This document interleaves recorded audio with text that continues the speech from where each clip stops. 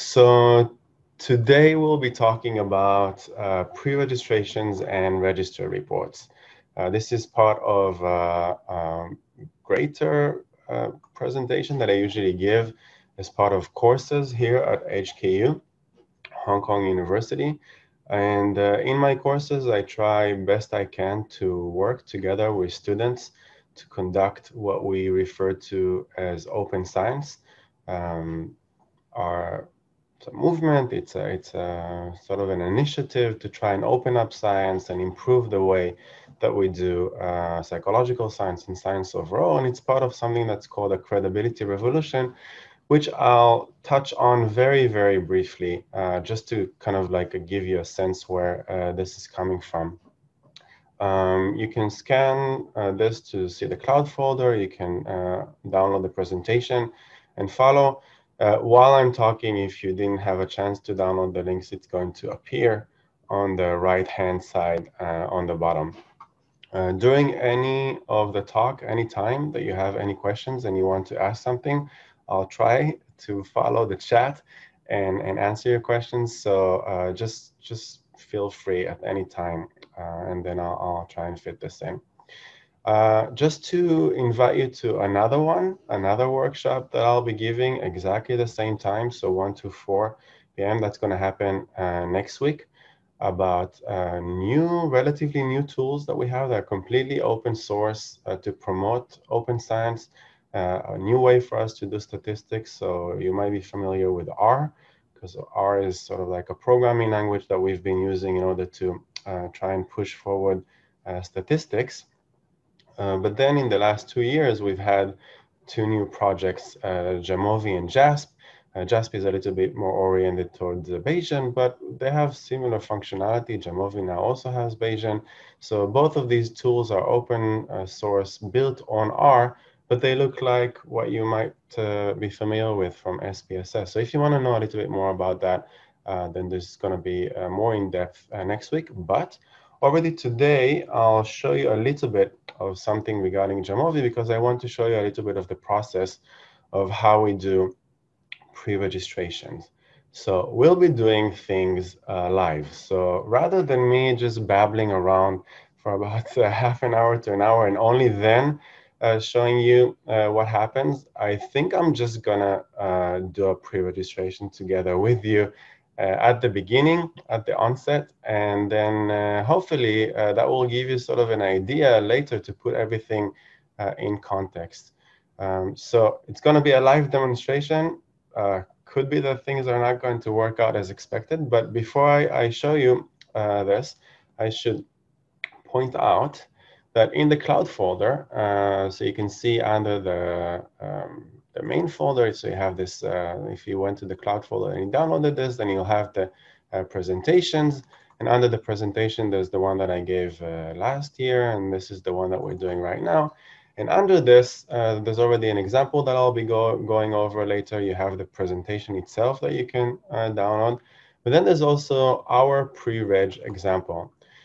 So as you can see earlier today, uh, you can see the timing over here. I decided that I'm going to do a hands-on thing. So I just decided to do a research project. Uh, for us today, uh, based on our very little sample, I decided uh, we're going to register uh, some hypotheses. So what you can see over here is that we have uh, all sorts of things. So for example, if we open this over here, then you can see that this is a, Qualtrics files. A Qualtrics is a surveying uh, um, software that we have.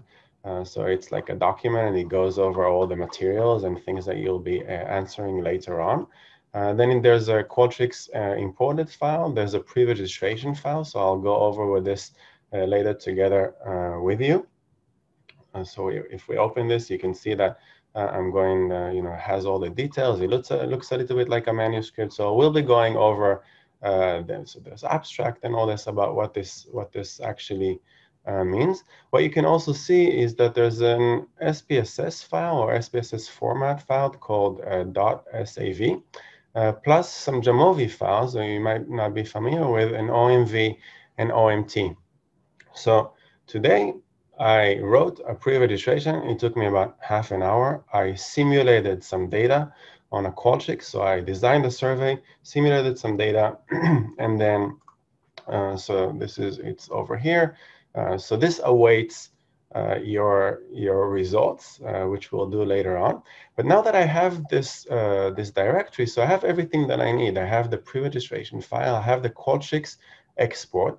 I have some simulated data, and then I have a data analysis plan, which I ran with uh, Jamovi.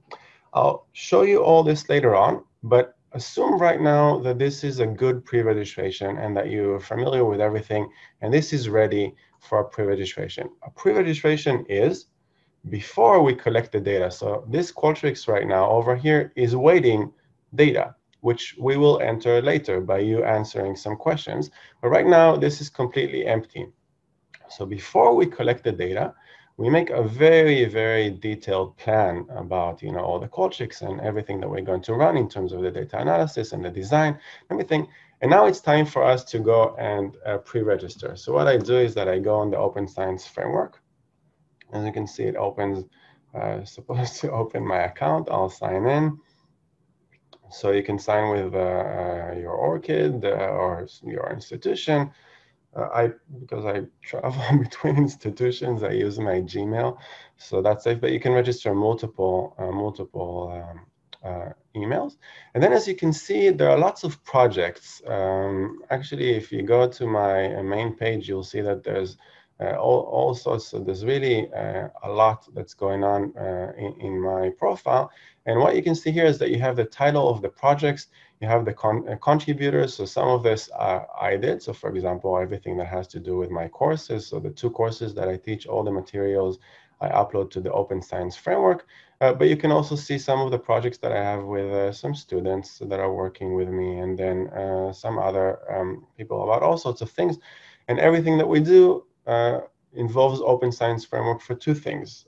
one of them is that we share everything that we have. So it means that this allows you to upload everything that you would want. So let's say that, for example, uh, we want to look at these two. Um, let me just hide this. so let's say, for example, we want to look at uh, the, these courses. So for example, in these courses, you can see all the lectures. You can go here and you can uh, look at all the materials. So it's a good it's a good place to uh, upload the data, um, everything uh, that has to do with a project or even with a course. Uh, so that's nice. But also in terms of uh, all sorts of projects, research projects, you can see that if we go into one of these, so let's say, for example, which one has been completed. So let's say this one has been completed already and published. Uh, so if we go into this, you'll see that it includes uh, so all the collaborators and it has uh, all the data and all the code um, and a preprint if you want to have a look at this. What you can see is that aside from the regular stuff over here, there's also this thing over here on the bottom. And this thing over here on the bottom is a pre-registration. So it has a component. And this component says that this has been registered somewhere in 2019. And what you can do is that you can actually uh, go and have a look at this uh, pre, pre-registration. Um, so this is what a pre-registration looks like for this specific replication and extension that we conducted. Um, this is what uh, it shows. So it shows uh, who I am, who I did this with, so one of my guided thesis uh, students. And then what it says over here in the summary, it could have a lot more, but I chose a specific type of registration called an open-ended registration.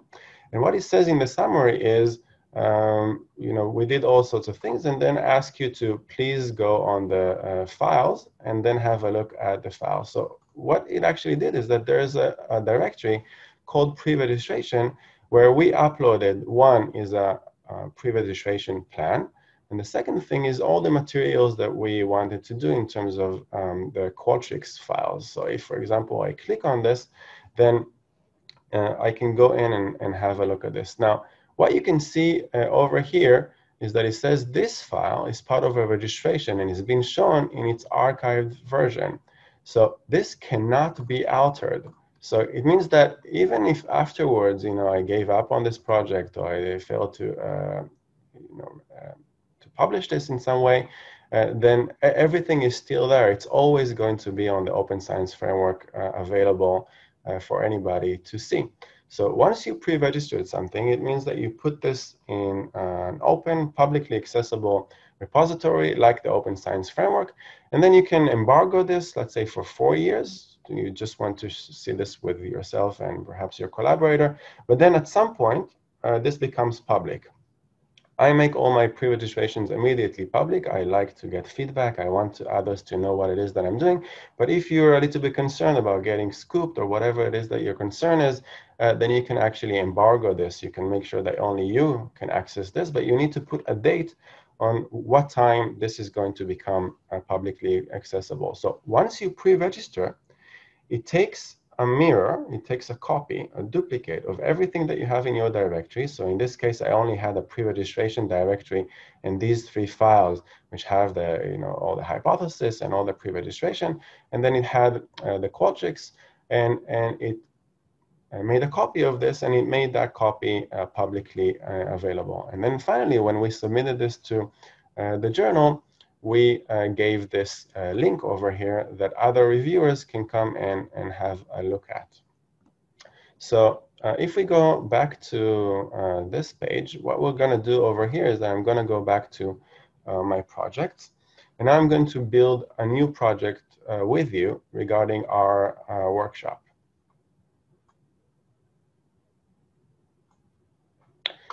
So we can create a project and we'll call this the HKURR uh, Workshop 2020. Uh, and we'll, we'll create this. Uh, I can go to the new project uh, immediately. So you can see over here, I have the contributors. So if I want, I can uh, add different people. Uh, I can also have view only links. So for example, if I want people to see my pre-registration, but I don't want them to know who I am, what I can do over here is I can add view only links where I can anonymize uh, these links. So you can share a pre-registration with your reviewers without them knowing who you are, providing of course that no files have anything that has your name on it. Because I don't really care about anonymizing who I am, I don't care if the reviewers uh, uh, know who I who submitted, actually, I don't really care about this, but you can have a view-only link that's either anonymized or not anonymized. Uh, but let's say if this project, if it's private, this is a good way for you to share it with outside world. Now, what you can see over here is that actually it provides you a, a lot of really interesting stuff, which I use uh, especially for my courses. But let's say you want a wiki, so you want to update some information, you can add this uh, over here. And over here, and I think this is the main component that most people use, is that you have the Open Science uh, Framework storage. Uh, if you don't like to store things in the United States, like some Europeans uh, have some uh, concerns about this, then you can actually choose a repository in, in, Australia, I think, and in Europe. In some places, you can control this sort of thing, but it does indicate where this uh, storage is at. And the Open Science Framework, I think, has right now the budget and the funding to keep those files for the next 30 years or 50 years, something like that into the future. So you don't have to worry about, you know, this website shutting down. Everything that you upload here on the Open Science Framework um, is, is going to be uh, kept here. So some people put this, uh, you know, put their files on their institutional uh, website, but I, I just put everything on the Open Science Framework and I feel like this is becoming the de facto, you know, the default um, standard of our field, especially in, in psychology, social psychology, but also of other fields have started to use, use this on a, on a mass scale. And the thing about this is that this is a regular uh, file um, thing. You can actually drag things into it. So if we go back to uh, this over here, what I can do is I can, uh, if I can just uh, refresh this, so I'll refresh this. I can go here and you can see I can create a folder and I'm going to call this pre-registration. And it will create that folder over here. And what I can just do is that I'm going to uh, drag all the all the files and I'm going to upload them just by you know drag and drop. And as you can see, this is uploading uh, right now. So um, it will tell me that everything is uploaded successfully. And then if I just like click on some of this, so for example, just looking at my simulated data, if I open this SAV file, you can see that Open Science Framework is actually quite clever because it knows how to read all sorts of things. So it knows how to read an SPSS file and it knows how to open it for you so that it has, like you can see all my uh, randomized uh, data with lots of uh, ones and ones and zeros. Over here, uh, Qualtrics also keeps the location. You can decide if you want this or not, or response ID, all sorts of other things. But the, the interesting thing is that you can actually uh, see all of that uh, within the Open Science uh, framework. Now, for our goal, for the pre-registration goal, uh, once we've added all the contributors and we did everything, you know, in terms of setting up, writing the analysis, you can also like do a license if you want a Creative Commons or whatever other uh, open source uh, license you're using. Uh, once you've once you've finished all of this, uh, you have all sorts of tabs that you can you know, some interesting add-ons over there if you want to connect to GitHub, whatever it is uh, that, that you're using in order to develop your code. But the, the one thing I wanted to show you for the pre-registration is this registration uh, tab what you can see over here is right, right now there are no completed registrations of this uh, project, but we're going to open one. I'm going to open a new registration. And when we open this, you can actually see there's lots of different templates. So depending on what it is that you want to do with your uh, project, what kind of project that is. So for example, if this is a replication, so we do a lot of replications in my courses and I do this uh, with my collaborators and students. So perhaps you would want the replication recipe over here. Um, a post and so forth. A very common one in social psychology is this one in 2016. So it's based on a paper from JESP um, that, we initially used in the first year, I think, of our project. We used this before we moved on. But there's also a registered report protocol pre-registration. So we'll talk about what is the difference between registered report and what is the, uh, um, you know, from pre-registration, what, uh, what, what, differentiates these two. And then there's like a, a template over here for OSF. So I'll just show you one example of what that means. What is an OSF pre-registration? So it opens up and it asks you a lot of questions. First of all, you add some metadata, so you can add, you know, the title and the contributors, and you know what kind of project this is, uh, and your field. But then, very fast, it gets to uh, some very specific questions about before you collect the data. Please write down your hypothesis. Now, the nice thing is that there are uh, all sorts of examples. So it doesn't need to be a very long text. It could be something like if taste affects preferences, then mean preference, uh, uh, you know, will be higher and so forth. And then in terms of design, uh, you're asked to say what kind of design do you have? Is it an experiment, an observational, perhaps it's a meta-analysis. Um, then you need to indicate all sorts of things in terms of did you take this into consideration in your uh, design? Did you do blinding? What is your design? And you can see all sorts of examples. So you're, for example, between subject design, how many factors, how many levels, uh, and so forth. So it really takes you uh, step by step. Uh, first the information, then the design, then there's a sampling plan in terms of when are you doing this, to what extent are you doing this, how are you going to collect the, the, the data. So are you recruiting them, you know, participant pool at HKU? Is it online somehow? And are you going to the field? What that's about. Then the variables, are you manipulating variables? Um, in terms of your IV, what are the dependent me measures, uh, measured uh, variables, um, and then you can, if you want, you can also include some files. So let's say there are some files already on the OSF, then you can actually go in here and select uh, some of these files and add this to your pre-registration. Finally, after you set all, everything about the designs and your variables and all that, you also need to uh, be very specific about how you're going to analyze things. What is the statistical test that you aim to run? So for example, over here, it just says, you know, ANOVA, ANOVA, multiple regression, um, you know, SEM, all, all, these, all these things, uh, but also um, telling in terms of all, all things that you'll need to test. So let's say that you're testing for normality and you want to know if you need to uh, center things in sort of uh, recording uh, things in order to get your analysis done. So what are you planning to do before you actually see the data?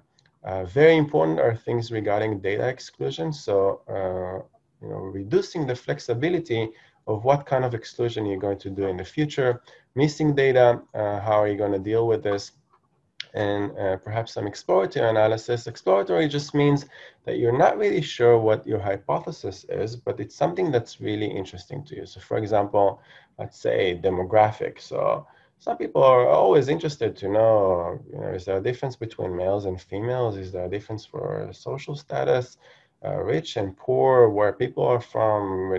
But they don't have a clear hypothesis. They don't say like uh, females are more than males and, and all that. So they just say exploratory analysis. I'm going to also analyze uh, gender uh, in there.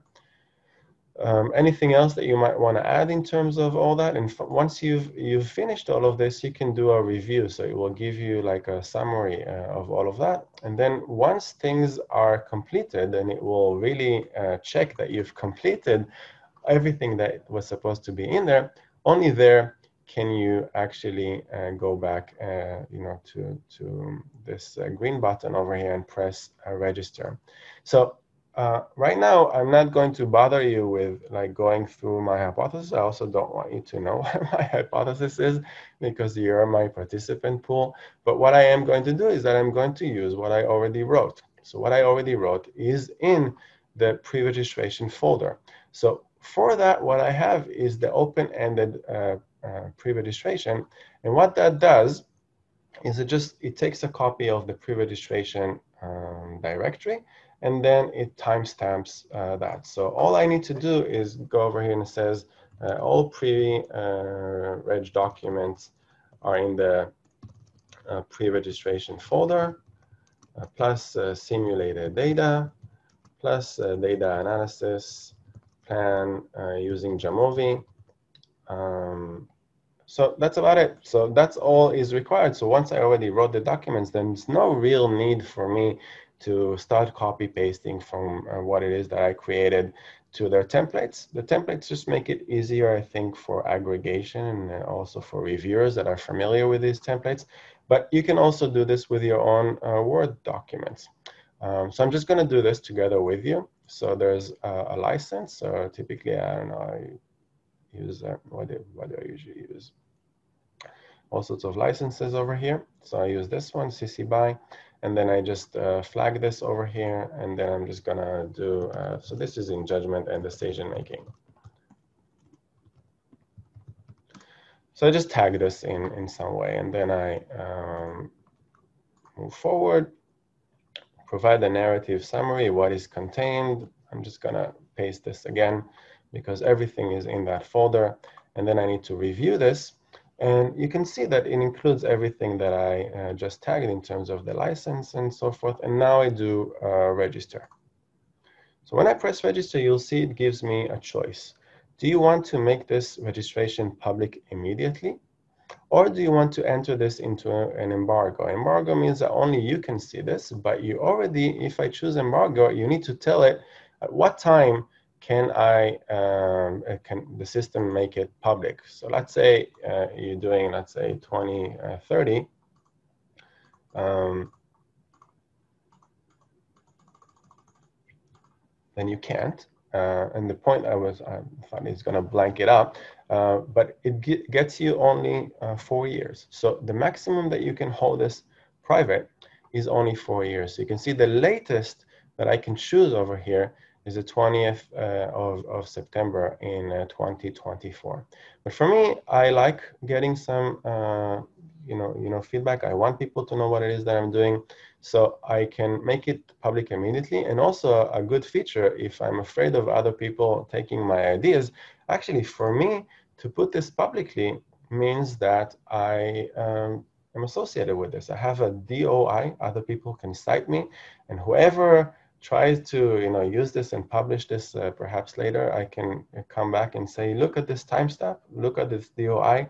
I'm the person that, that did this first. So actually, there's something about a pre-registration uh, being public, you know, on this kind of website, especially if it has a DOI that really uh, allows you to get credit for what it is that, that you've done in this pre-registration. So it's enough that you have an idea. It's enough that you've designed something. You have a, a you know a full pre-registration even before you collected the data, this is a good way for you to um, make sure that your ideas are, out there in public and are associated uh, with you. So we'll go ahead and do this. Uh, we'll submit this. Um, yeah, so what you'll see over here is that this registration is cur currently archiving and it takes a while for it to come to come in. I'm not going to show you um, what it looks like, but it sends you an email. And on the email, it says uh, registration pending for one of your projects. What do you want to do? And then it says to approve this um, registration, click the following link. So it's not yet registered. It just archived this. And then they send you the, the email um, to, to your account, and then you ask you to approve. I'm going to go ahead and click this on my mobile um, to, to approve our pre-registration. So I approve this, and now if I refresh this page, you'll see that it is registered. Yeah, so you can see exactly when this was registered and just like before, you know, everything that we uh, approve. And then once, uh, so I can't touch this anymore. So this is now, you know, on the OSF, uh, cannot be changed in any way. Anybody can access this, so you can uh, try, try and access this yourself based on this link.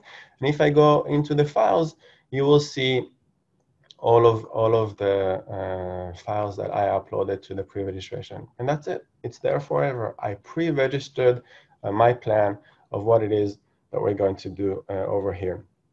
Very very simple. Uh, most of the pre-registrations that we do, we do this way, because in my project, uh, the students write uh, manuscripts. They um, they do the the Qualtrics. Um, they do the simulated data sets, and then they hand this to me, and I do the pre-registration and I do a lot of these in a very short period of time. So rather than me putting everything into the templates, I just upload the files and I do an open-ended uh, pre, pre-registration. So hopefully that uh, helped show you how simple it is to do a pre-registration. It's simple, at least in the technical aspect of once you have all your pre-registration files and you have your simulated data and you have the data analysis uh, plan, then just uploading this to the OSF is very, very easy. Uh, and then doing the pre-registration, you saw I got an immediate email, I approved it, and now I can see uh, everything uh, in front in front of you. Now, if you have any questions about this or there's something that's not clear about what it is that I, I've done, uh, then let, let me know. Now, this thing over here, you can already you know, um, uh, share this with other people. You can also have uh, some statistics about who accessed this, to what extent, what hour of the day. So there's some interesting stuff that you can do here on OSF that it gives you all sorts of all sorts of things. But finally, um, on, on, this project, so if we go back to uh, the main, so it says which project that this was registered from. So you can go to back to the to the main workshop. Now, even this, I'm going to make uh, public. Um, so to review projects, I confirm. So now this is public and anybody can access this. Let's say that I want to make the pre-registration also available. Uh, what I'm going to do is that I'm going to link uh, the project. I can search through uh, registration. So for example, I, you can see that my uh, pre-registration is already, uh, it already appears over here. And what I can do is that I can add my pre-registration. I can press done. And then you can see that it will appear here as a component. So under this project, which is our workshop, there is this component over here that says HKURR workshop. And then not only did it add it over here so that you can go and follow this link over here, but also it, it as you can see, it puts it under so this can change. Now I can upload something new. I can delete some, some files. I can play around with this. But this component over here, which is my pre-registration, this I cannot touch because this is an archive uh, and part of a pre-registration. So pre-registration is forever. It's going to stay there uh, until until the end of time, or the end of uh, the Open Science framework. So hopefully that was clear enough. Since I don't see any questions on the chat, I'm assuming that this was clear. Now, so uh, so we dove we dove right in. So that means that uh, now that we pre-registered, now we can do a data collection.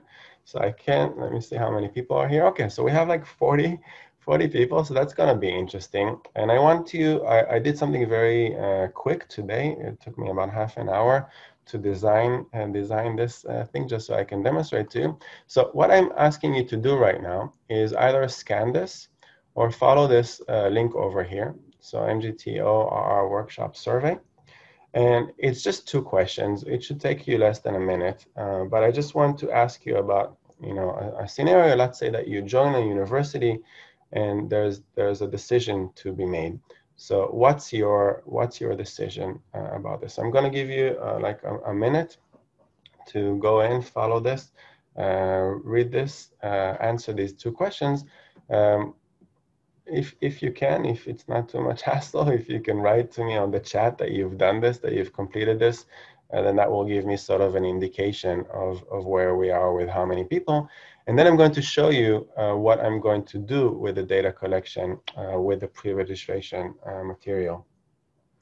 So go ahead and follow the link. Hopefully that, that works.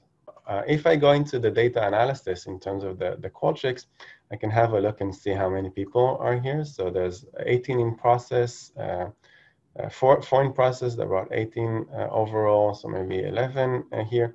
What I can see is that I have, um, so I have all your uh, uh, responses. There's a bunch of things in here. And what I'm gonna do, I'm gonna show you that in terms of my pre-registration, all right, so um, what do I want to show you? Completed. Terrific. Okay, so I think most of you have, have done this. Now, what I want to show you is that um, I simulated some data. So if I just open this like on SPSS, which I'm not going to do because SPSS takes a long time to load, but I'm going to load this uh, with Jamovi. Uh, so I want to show you what my simulated uh, data uh, looked like and why, why this is considered a data analysis uh, plan. So when I tried to do this workshop before and show Jamovi, uh, Zoom uh, gave me some trouble because my system wasn't uh, ready for the load. But what I can see here is that this looks very much like um, if you can't, if there's some delay or something is not working well with the Zoom, then please let me know. But hopefully once the Jamovi is loaded, then we're going to be okay also with the zoom. So what you can see over here, it really looks like SPSS if you're not familiar with Jamovi. So we'll be going over this in uh, next week's uh, workshop. Now, what you can see is that we have this uh, data. All this is simulated data, so that's not your data. So you can see that we have these uh, three conditions about, uh, so, you know, you had two questions about pre-registration about sharing. And I did three different conditions uh, that I'll show you what these conditions were. And then I, um, from that, I computed some variables and then I computed what the condition uh, was. Now, what makes this a data analysis is that you can see over here that I already conducted some analysis. So for example, I did a proportions test or a, a, chi, a chi-square contingency table crosstabs. So for example, I wanted to know whether the pre-registration is dependent on the condition. So did things change or not? The thing about simulated data is simulated data is random. So it's not supposed to show any uh, meaningful effects.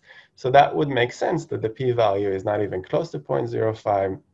And then you can see that it's pretty equal uh, in terms of zeros and one for each one of the of the conditions, the yes, the, the neutral, or, or the no.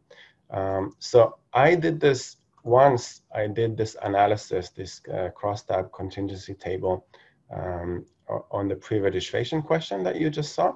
And then I, I did this once on the sharing question uh, that you just saw. Then I added some descriptives and you can see that I, I kind of had this uh, uh, nice graphs that Jamovi uh, creates almost automatically.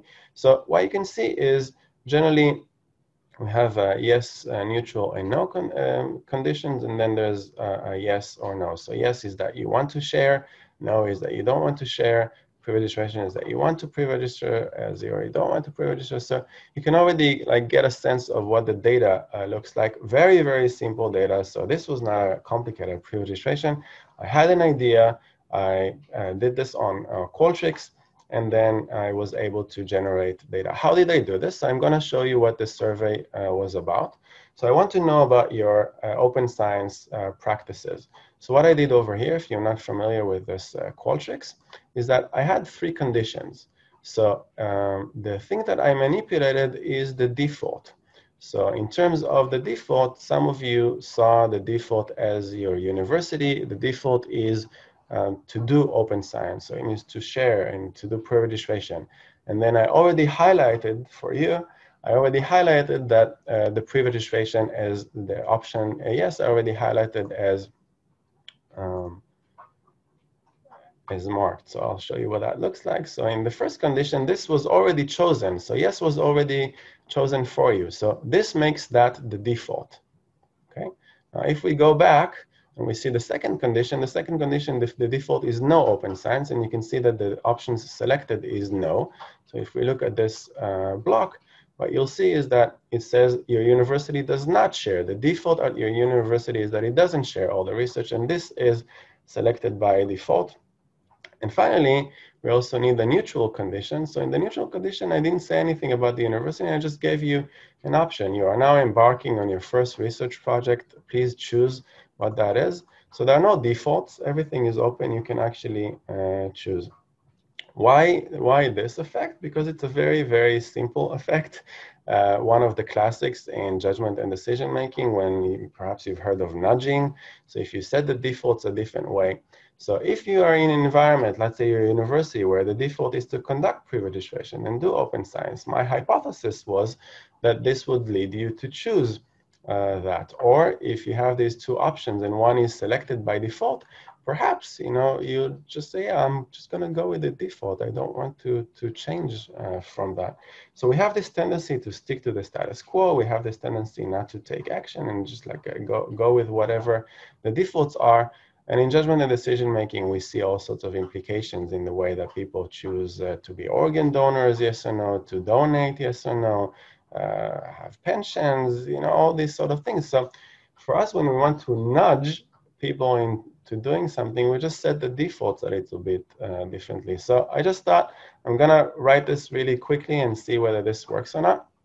So if we go back, what we can do right now is that we can go back to the data analysis. And now that all of you hopefully uh, have finished uh, answering this survey, so we have 25, that's pretty good, I, more than I expected, honestly. And now we can export uh, this. So I'm just gonna go ahead and export this to our uh, directory. I'm going to do this in the SPSS mode. I'm gonna download all the fields. I'm gonna take this over here Um, so this is uh, real data. Let's call it real data. Now, the nice thing about Jamovi is that here you can see what happens, uh, you know, when, when you use the simulated data, but Jamovi also has templates. So once you're happy with this sort of um, your analysis with the data plan that you have in terms of how to analyze things and what kind of, you know, analysis you want, you want to do, chi-square and what kind of plots, now you can actually uh, fit this uh, fit this in.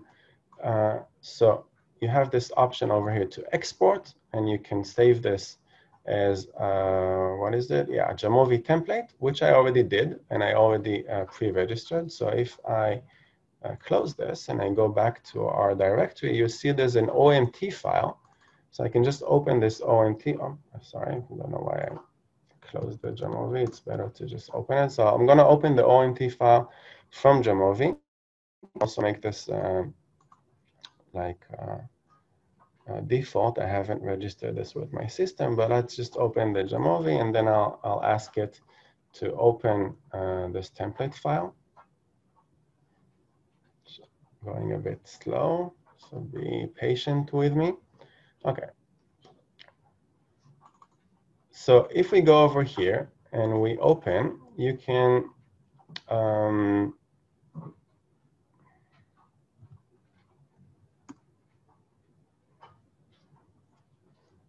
So I'm just gonna, can't see this. Okay, so you can uh, browse, go in the directory, and then you can open the OMT file. And you can see that it opens a template. Now, it has all the fields, and it should have all the, um, uh, the analysis already uh, here. So you see the analyses are empty. And now the only thing that I need to do is import your real data. So I'm going to go over here and use your real data. So I'm importing your, your real data and it was successfully imported. So we have these 25 uh, questions over here. And the nice thing about Jamovi is that it's supposed to dynamically update everything uh, on, on, the right, depending on the, the data that's, that's on the left. So you can see immediately, just because I pre-registered this before, it's already showing me all, all the results.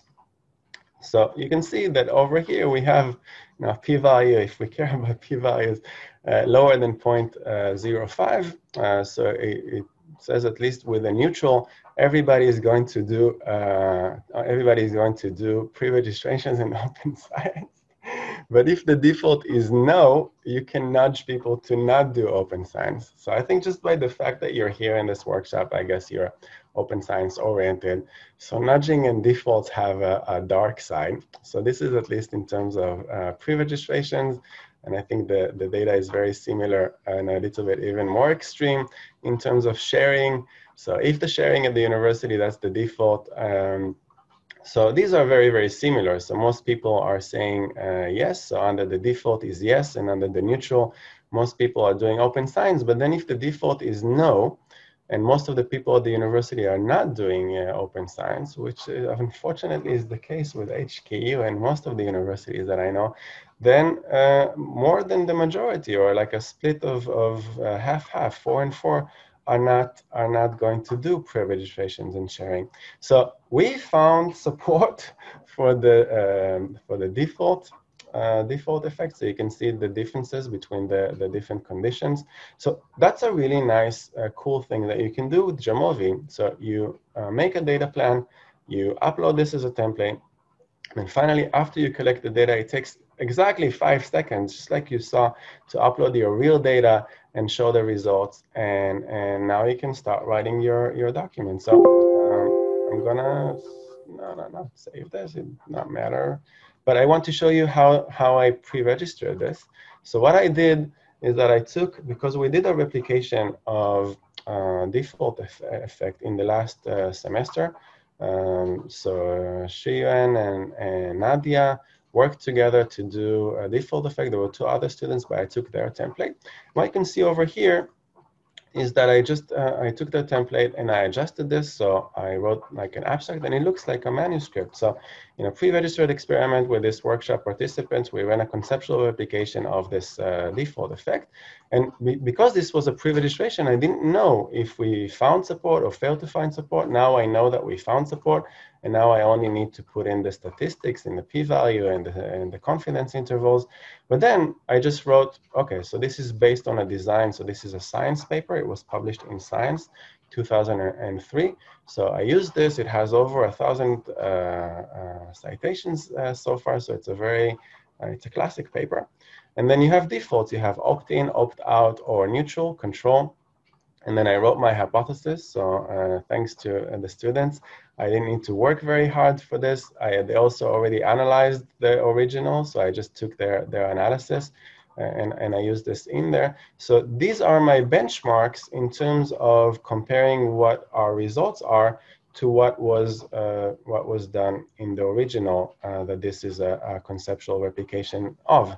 And if you look at the design, actually it has all the design. Uh, actually, I didn't change enough over here, so I, I, made a little bit of a mistake with organ donations. But you can see over here, opt-in is no open science, uh, opt-out uh, do open science, and uh, you know neutral.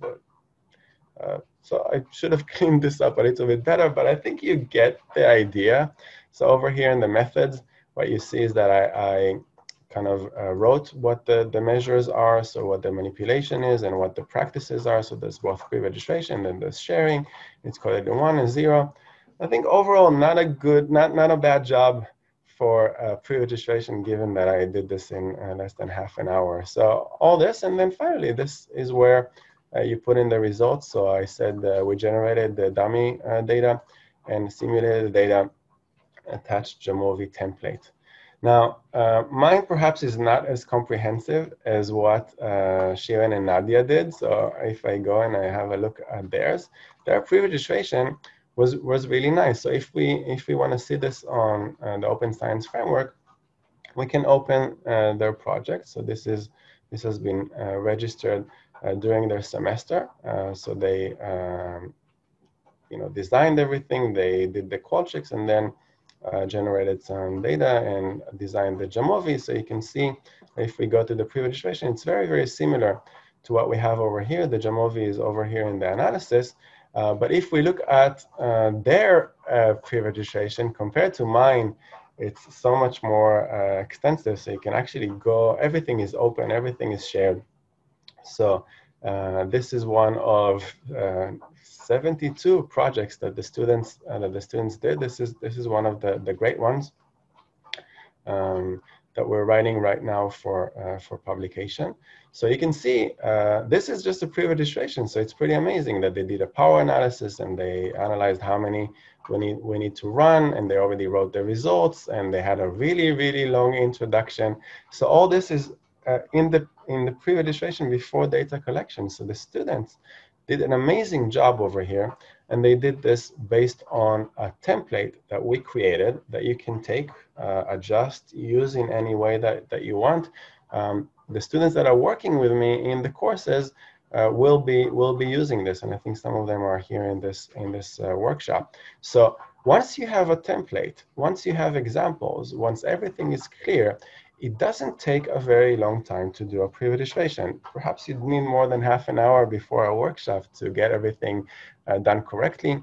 We also do peer review before the pre-registration. So we get uh, two students, two student group working independently, and then they peer review each other. Then we have the teaching assistants, then we have external peer reviewers coming from Twitter. And then, of course, I go over things to make sure that it's okay. So there's a lot of ways by which we can uh, catch all, all the errors. But you can see this, it's very comprehensive uh, and very, very well done. Uh, so if our students, uh, undergraduate students, starting from second year to fourth year, can do this kind of amazing job with a pre-registration, I don't honestly completely understand why some senior scholars say that this takes a lot of time or that it's uh, uh, very, very complicated. Uh, we, are doing this in all of our, uh, I'm doing this in all of my, all of my courses. So thanks for playing along with me. This was good. I, I enjoyed this. So hopefully this gave you like a good, a good idea of uh, what does a pre-registration look like? Is it really that complicated? Um, does it does it uh, take a lot of time? So once you've done a good pre-registration, after you collect the data, you just plug it in to your template in Jamovi. If you have an R code, then of course you just run the R code. If it's R Markdown, immediately all the, the, the output is in there. And if it's R Markdown, you even have the results section already written, written out. So in the different workshops that I give, I try to automate things as much as possible so that it really takes away all the pressure from you in your pre-registrations. So um, once you have this kind of structure in place, I just wanted to open by saying it's very, very simple to do a pre-registration, especially if you've done this a few times before. So before uh, we've done a, a default uh, effect, um, so I, it was very easy for me to just take this as is, make some adjustments, uh, delete, add some stuff, uh, adjust this to the workshop, um, and so forth. So we did all of this. um, and I just wanted to tell you that if you want to look at our students' uh, report, everything is open. So I showed you a little bit of the default effect bias example. But if you want to see what our students did in 2019, uh, I think they've done a, a remarkable, remarkable job. So I'll show you just what that looks like. So I'll open this Airtable. Hopefully my computer wouldn't crash. Okay, thanks. Um, yeah.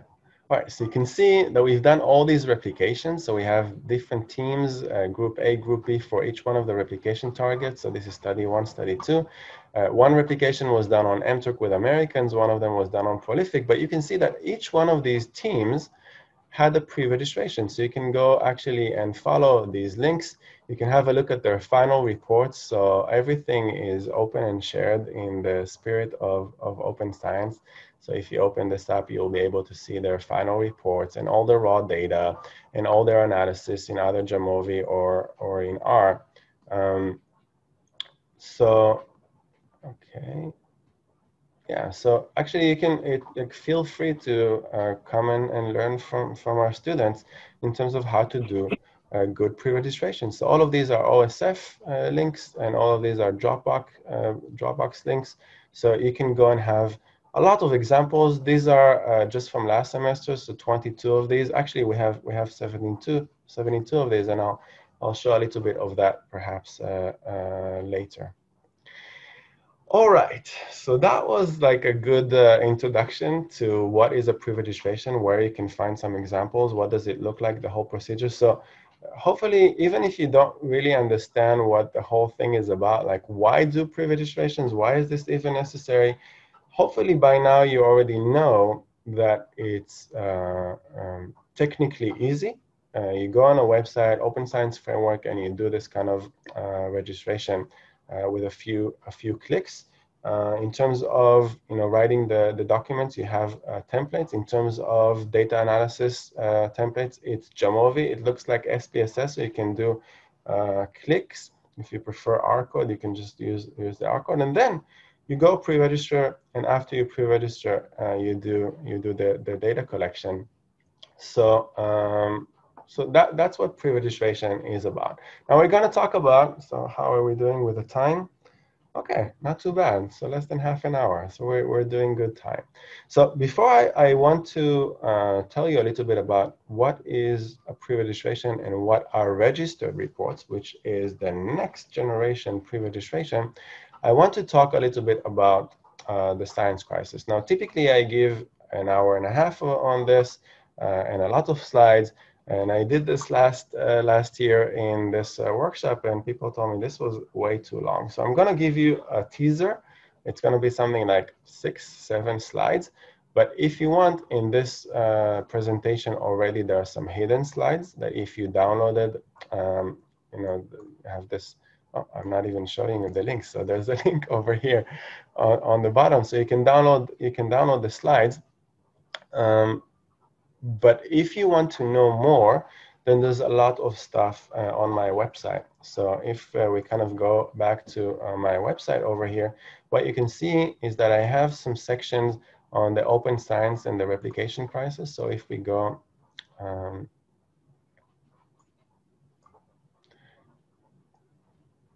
Yeah, so if we go over here, look, uh, you can uh, hear me talking about my journey to open science.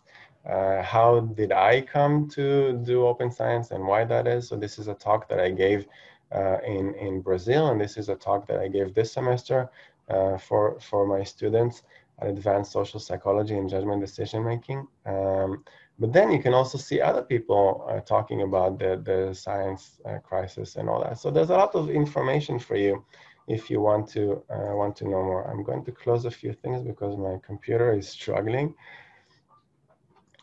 Um, let's close this one as well. Okay.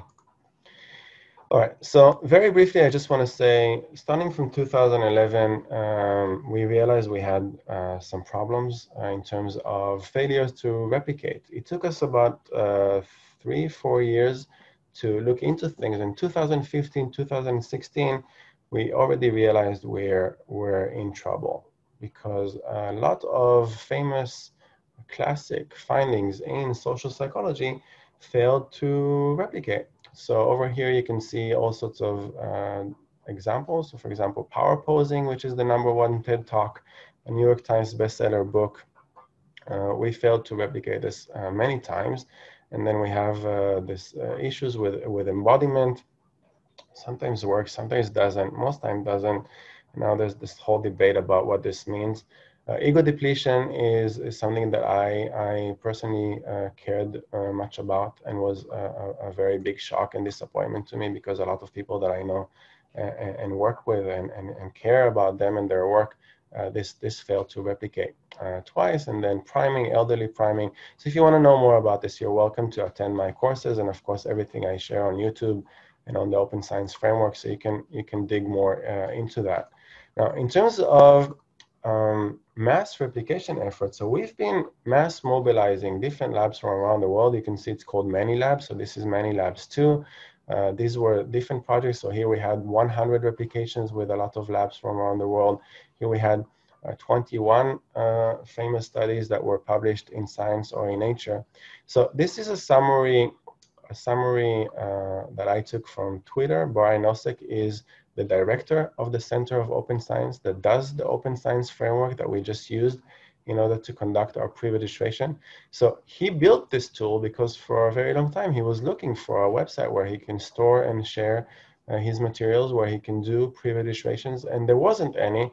So he built one, and right now, because of him and because of the nonprofit that he's headed, you know, the Center of Open Science, we now have this amazing tool um, called the, the, Open the Open Science Framework. So what we have is that from 2015 from these 97 replications that originally had significant effect, when we tried to repeat this, only 36 of them, 36% uh, were, were significant in the same uh, direction. And of those, the effect size uh, was about half. Then people said, okay, uh, you just try to replicate psychological science and JPSP. These are social psychology journals we didn't expect very much. But if you try to publish science and nature, then everything is going to replicate. But once again, out of 21, only 13 replicated, and the effect size were about half of the of the original. So that was uh, disappointing. Finally, published in Nature Human Behavior. This really large um, mass collaboration, Many Labs 2. Look at all these samples. How many labs involved? 36 nations, 186 authors.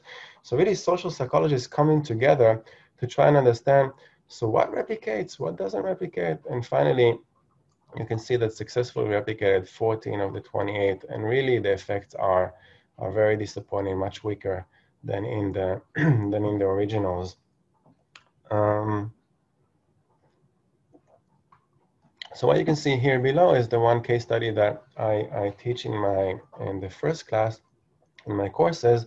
This is about ego depletion. So the first one in 2016, I think 20, 24 labs uh, found nothing, uh, very, very weak effects. And then the original authors, uh, so Kathleen Vohs over here said that they didn't know how to do this correctly. So if they would do it, then they would find something. And it took them two more years to finish their own replications. And then once again, they found a very, very, very weak effect. Um, so both together, very disappointing findings for one of our biggest, um, biggest findings in social psychology.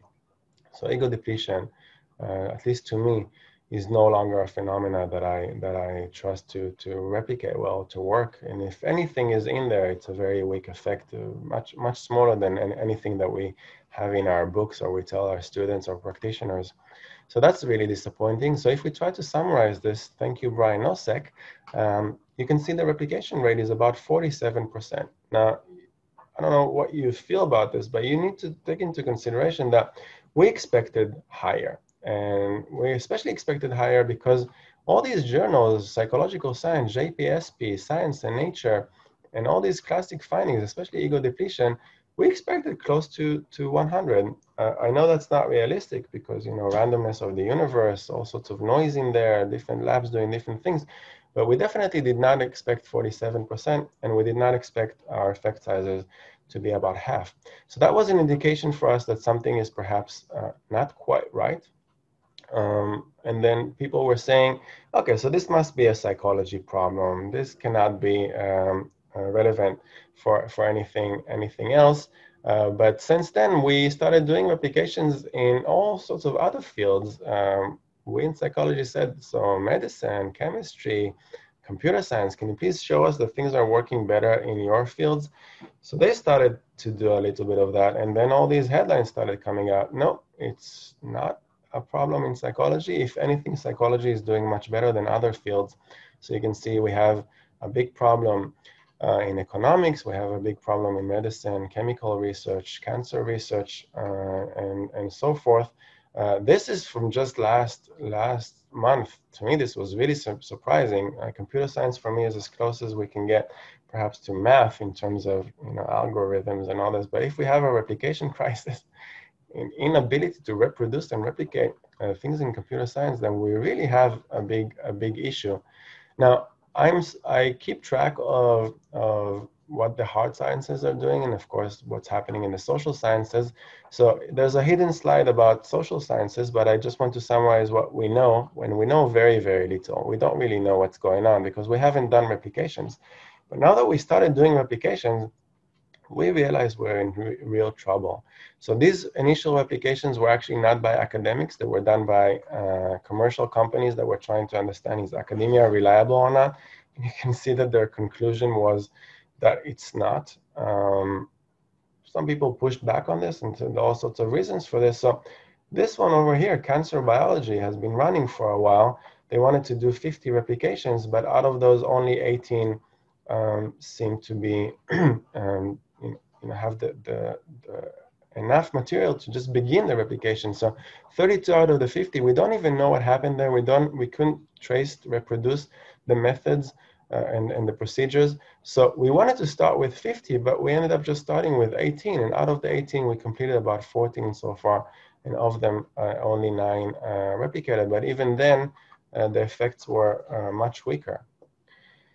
So in psychology, you can say, okay, ego depletion doesn't replicate, power posing doesn't replicate. Nobody really got hurt. Maybe people that expected to get a job um, or, or, do better in negotiation didn't. But when you see this kind of problem in cancer biology, when you see this in the hard sciences, uh, it's heartbreaking because uh, this means that people suffer. This means that people uh, die. Most of the people in my department um, you know, they study, um, they teach, they're involved in some way in neuroscience. Um, so we have a, a, very strong neuroscience team over, over here, and most of our students have some training in neuroscience.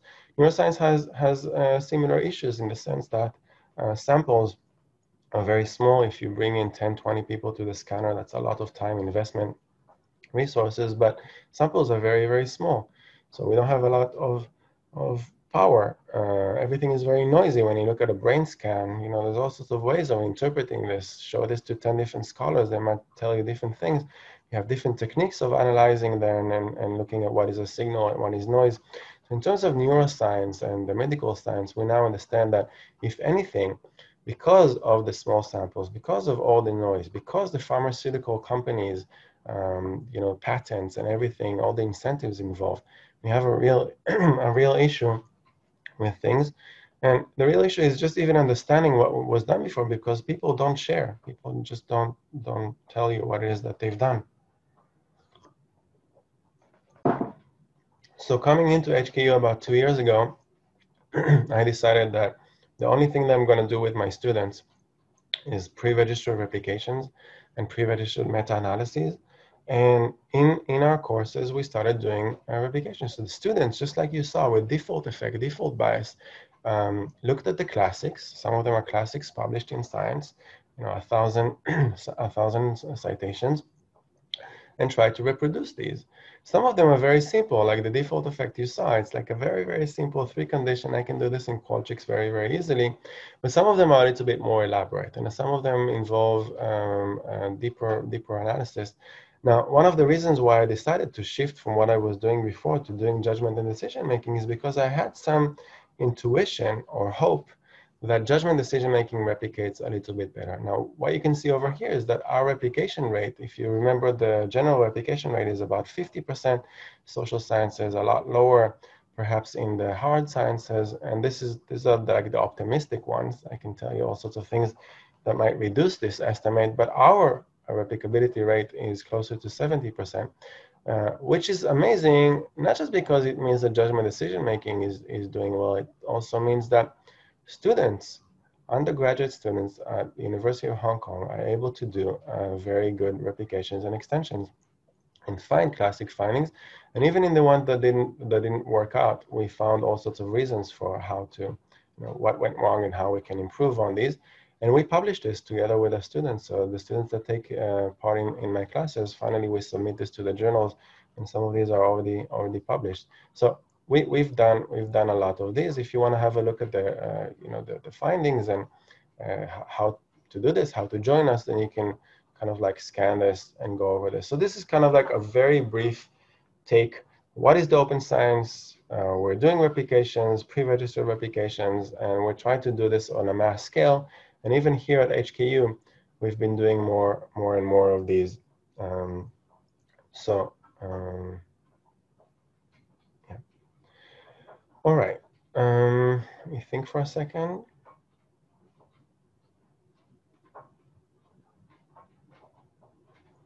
Okay. So I'm going to very briefly uh, discuss pre-registrations, even though you saw uh, already uh, what, what's happening. And just look at the chat, see if there's some no questions. Okay, so if if everything is clear, then I think we can proceed. Um, most of these slides are not mine, so I took from a lot of people uh, who I learned from. Uh, most of all, I think Chris Chambers and Brian Nosek of the Center of Open Science. So Chris Chambers is the one behind register reports. So we'll talk about this. People from the Open uh, Open Science Center, uh, Center of Open Science, uh, a lot of really good people. Felix over here does amazing slides.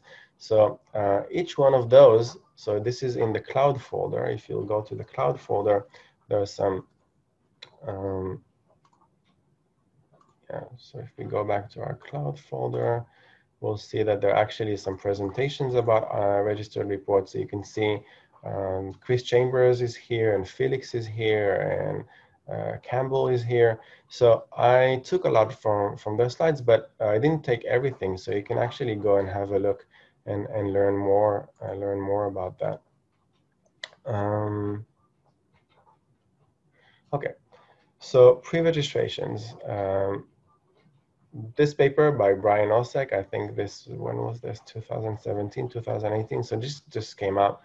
I considered pre-registration to be a, a, revolution, and I think I really um, appreciate that. So this is published in PNAS, that this is uh, getting to be more, more and more the standard. So hopefully, even though HKU does not necessitate this uh, or demands this of us, hopefully, especially the early career researchers, the students, uh, will understand that this is happening. So if you want, you know, to be attractive for the job market, it doesn't matter if you're in industry or academia, you want to at least know what pre-registration is and have some experience in this because once you, you, you will be looking for a job, people will will demand this of you. So this is it's no longer like uh, something uh, you know trendy that you know hipsters are doing on the on the side. You know these open science movement guys uh, this this is published in the best of journals, and people uh, more and more uh, journals are are demanding. I'm just going to tell you that you have uh, a few options of where to pre-register. So I, I showed you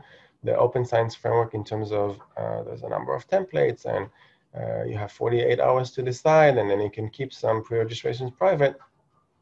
But some people are saying this is already a little bit too complicated for me. I want to be able to uh, pre-register a hypothesis within you know five five minutes. So you can go on as predicted. This is i think one of the first tools that was out there. And the only thing that you need to do is an answer very short nine questions.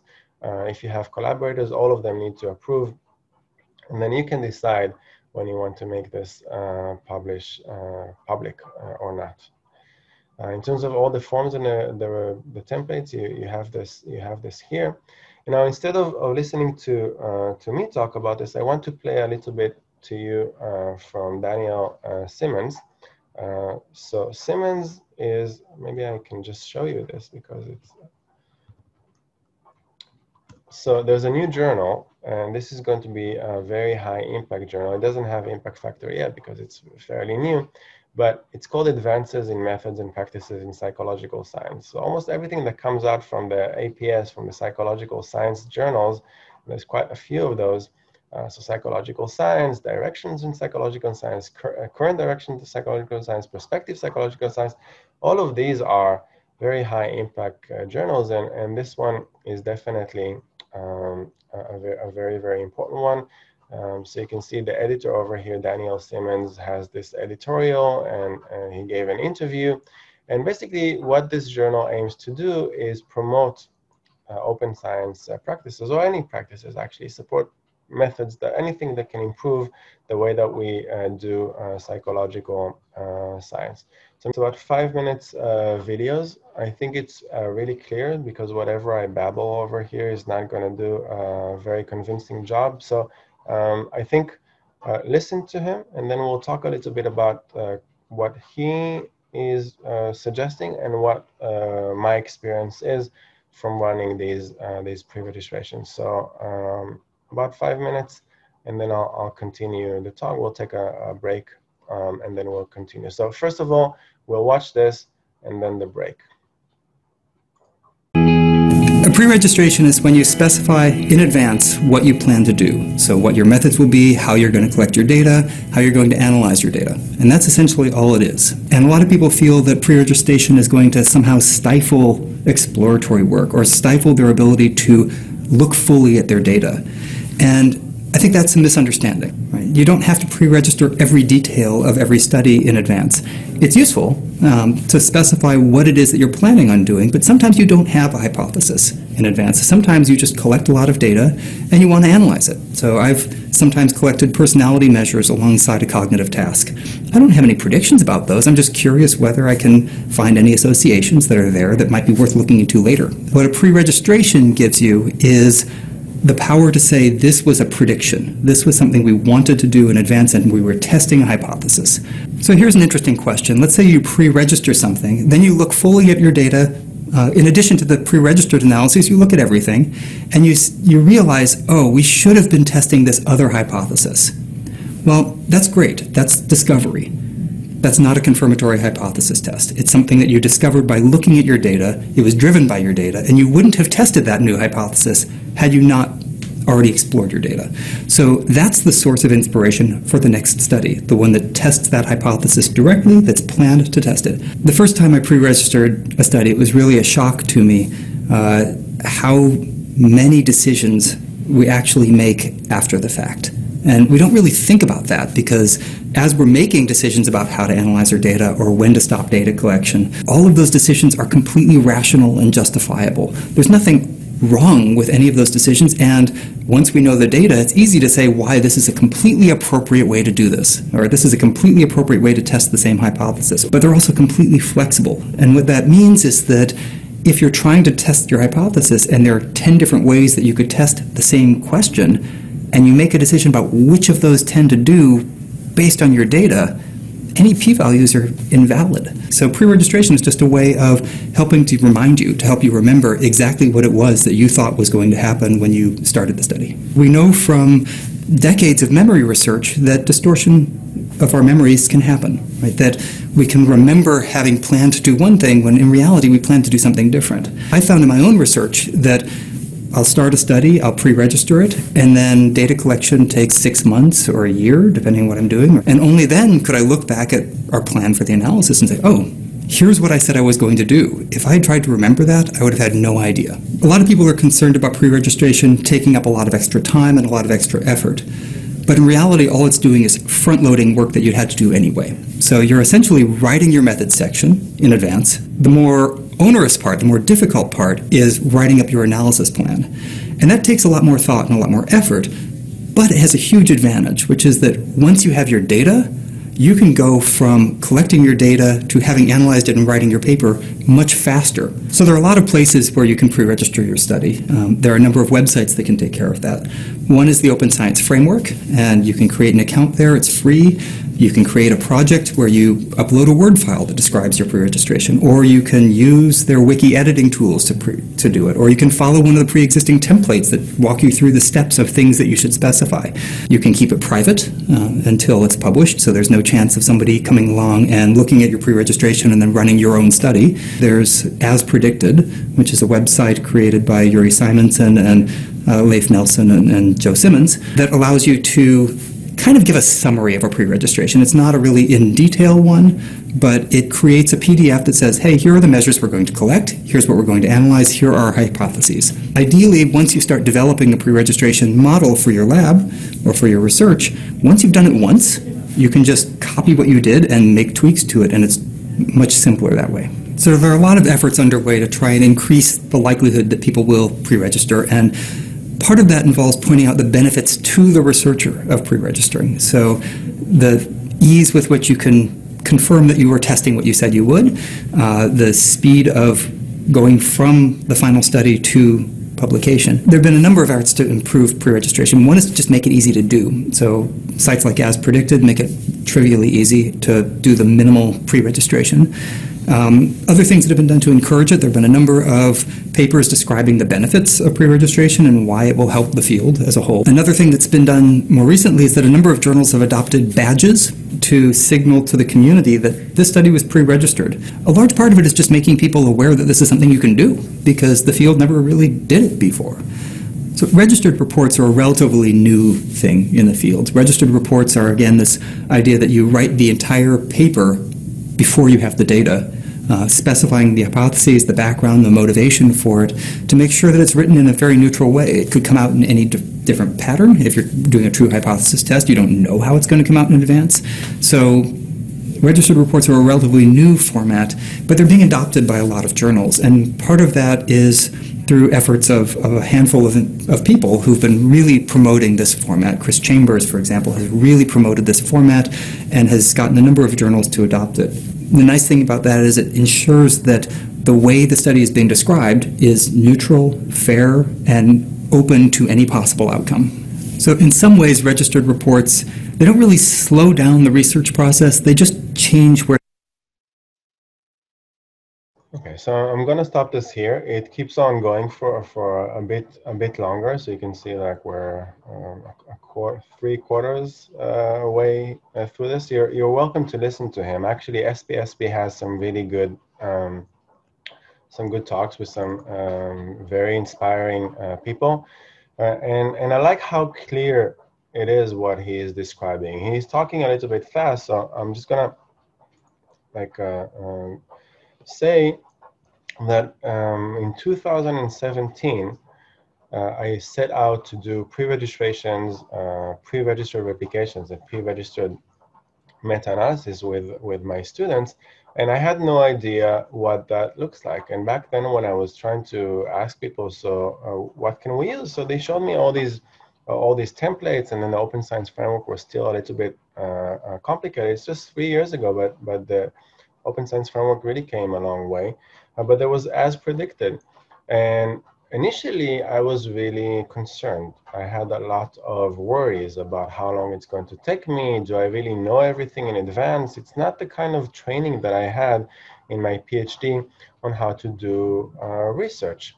Uh, but the thing is, is that given everything that I came to know about open science, I was not very um, confident that that, that I know that what I'm doing is, is correct. So pre-registrations really allowed me to think about things more carefully in advance and really have to put down everything on paper and think about things. So it used to be that I rushed into into things. So I had an idea, immediately I, go, I would open the Qualtrics, put a bunch of things in there. Uh, if I had funding or participant pool, I would immediately rush uh, uh, to run this. Um, and then, you know, looking back at, at, at, at, that time, we had a lot of incentives, so a lot of things did not did not come out. But I already knew from the experience of open science that once you know you ran something and it didn't work out, you want to try and make the most of it. So go back to your data set and see if there's if there's something something in there. But that's the thing that when you go back to a data a data set, that was used to test one hypothesis, uh, which it did not find any support for. And then you look for a different hypothesis uh, in there. Even if you found something, uh, given your analysis of the data, you really uh, need to confirm this again because you have not pre-registered these hypotheses. You just came, came across those.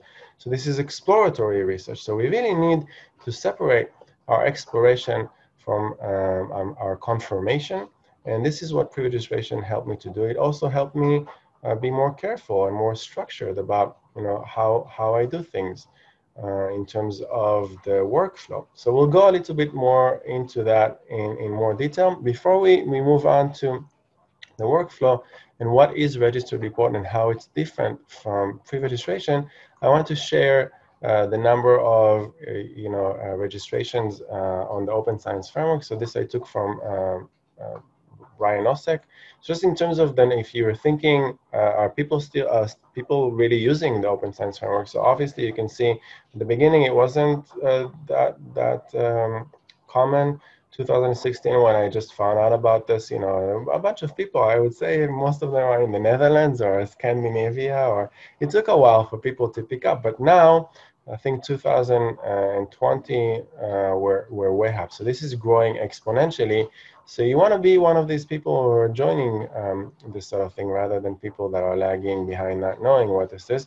But also in terms of the study registrations, so the pre-registrations used to be uh, uncommon. I remember in 2017 we joined something called the pre-registration challenge. So one of my uh, students uh, won a uh, thousand US dollars just for running a pre-registration uh, so it helped him to collect some data and, and, and so forth. So the Center of Open Science was trying to promote people doing pre-registrations. Not a lot of people were doing this, which is why in 2017 uh, they, they tried to um, reward this. I was trying to convince our university and maybe Hong Kong that they would give some uh, incentives in uh, in trying to promote pre-registrations in Hong Kong because it's still not very common and people still think that this is a little bit so complicated, but it's really not. You just need to get people to to start doing those. Uh, sometimes incentives like uh, money or you know funding uh, helps with this. Uh, last year we had the Open Science Hong Kong Open Science Principles for changing assessment and Hong Kong University signed it. So I think people in the future will be assessed based on uh, their pre-registrations and data sharing and, and, stuff like that. So I'm very happy to see uh, this trend, but there's also an ability, Open Science Framework uh, with the Center of Open Science now has the ability to take your Open Science Framework project and turn it into a, a preprint. So the number of people sharing their preprints before it's sent to the journal, uh, before it's published, increases. Everything that we do, everything that I submit to the journals uh, is available as preprints. Uh, I welcome uh, peer review. I don't, um, I don't worry at all that anybody would come and take this from me because it's posted as a preprint uh, with my name and, and my collaborators. So more and more preprints and the Center of Open Science and the Open Science Framework has a lot to do with, with promoting uh, this uh, sort of thing. All right, so before we move on, I feel like we deserve a break. So we're gonna take, um, uh, let's do, let's do a 10 minute break. Uh, we'll come back. Um, so now it's 2.26, so we'll come back at uh, 2.35 and continue this. So I had a few questions which have now disappeared because uh, Zoom crashed on me, but I'll, I'll try and make this, uh, I'll, I'll try and get back to this.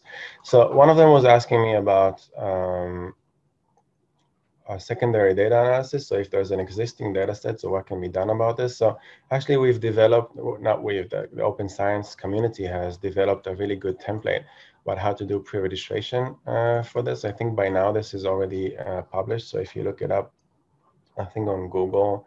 So you have, um, yeah, so they have a really good, uh, a really good template on this. Um, so you can just just look it up. Not this one, it's this one, I think. Yeah. So if you go on their OSF page, you can open this, and um, so Alma over here, I think has everything, including R code and what it is that you need in order to uh, do this. And also, if you go on the OSF, it will it will show you um, I, I, think there's there's a template that's built in into OSF on how to do this secondary uh, data, data analysis. And also in our cloud folders, um, uh, there is, so if we go back to the uh, workshop over here, there's some templates. If you go over here on the templates, then you'll see there's, uh, if you want for qualitative research, or if you want for fMRI, or if you want um, yeah, I just want to make sure that, that you guys can see me. So if you can just say yes, can see you, everything is okay. So know I'm not, okay, good. So I was worried that I'm talking to myself. Happens, happens sometime with Zoom. Uh, thanks, Tiffany. Uh, okay, so this was the question about an existing data set. So I just want to say by now we have a template for everything. And if we don't have a template, we're working on it. So if there's something that you haven't found a template for, uh, I don't know, EEG, whatever your field is is into, uh, then I, and you can't find it yourself, then then let me know and I'll help you find it. And that I'm I'm pretty sure that almost everything right now we have a template for our, our group that's working on this. The other question that I had was about uh, IRB. So what does the IRB say about me sharing everything? So I just wanted to make sure that we're like on the same page. So of course, we protect uh, the identity of our participants and we want to make sure that there's no identified uh, information. So everything that I run, I run on Amazon, Mechanical Turk, and Prolific. Um, the last time that I ran something in the actual uh, lab was you know, two years ago.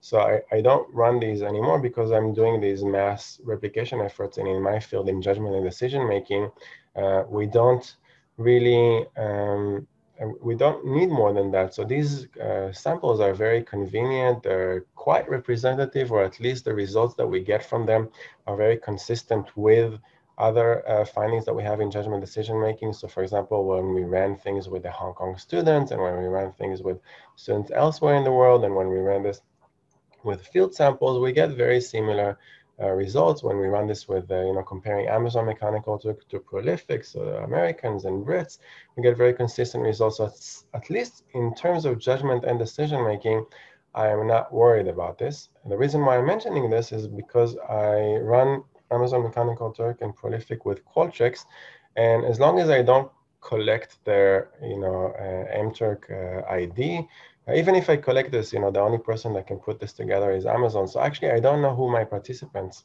are. But even if I did, let's say that you're collecting data with a um, participant pool, you can anonymize uh, your data. And there are some very clear protocols uh, on how, how to do this. Uh, in most cases, this is pretty straightforward. One thing that I wanted to show you is, for example, with Dan Quintana over here, um, he was saying, but sometimes I have some medical information which is identifiable. So even if I anonymize everything, because I am from a small, uh, know, village in the Netherlands and I run this, so it's enough that people know what your gender is, what your age is, and perhaps uh, I don't know that you have this, this and that uh, heart disease for them to know uh, who you are. So even if you anonymize in terms of taking away their personal names, sometimes people can still uh, know something about you, um, about your participants. So there is a way of dealing with that. So what Dan, Dan Quintana over here, and he does amazing tutorials in the sense that he uh, takes you step by step on R code together with you. He does these sessions live, which is absolutely amazing.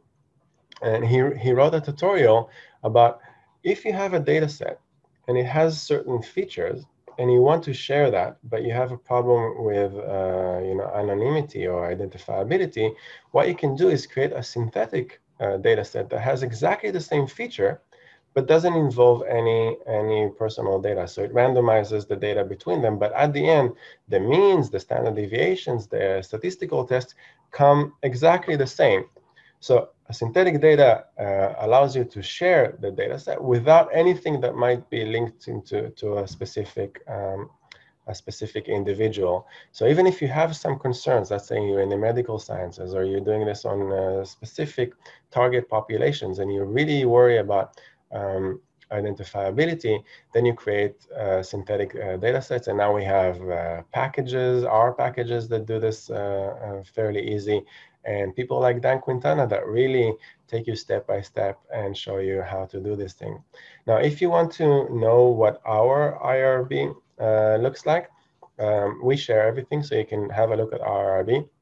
The way that we do this with uh, replication and extensions is that we uh, pre-register, we do the IRB process once, and because these are replications and because these are published uh, findings, as long as it's judgment and decision making, as long as it's a, a, a replication of a published um, finding, as long as it's uh, online, as long as there's no uh, potential harm, um, then we're able to do uh, these mass replications without coming back to the IRB every time. So you do this at the beginning of the semester or the academic year, and then the bulk of all the replications uh, done together for that year you can do you can fit this in for uh, one IRB. So you can take our IRB and fit this to, especially if you're in, in, Hong Kong, almost everything here should be exactly the same for HKUST or CUHK.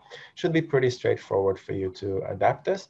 Now, generally, just so you know, everything that we uh, that we do is shared openly. So if you go back to my my webpage and you want to know more about our project, or you want to find um, our templates or our resources or our ethics uh, approval, anything else that you might need, um, then you can go over here. This is the main page. So over here on the on the left, you can see it's master applications and extensions. And over here, you can see get involved resources. So if we jump to this, this is a nice Airtable.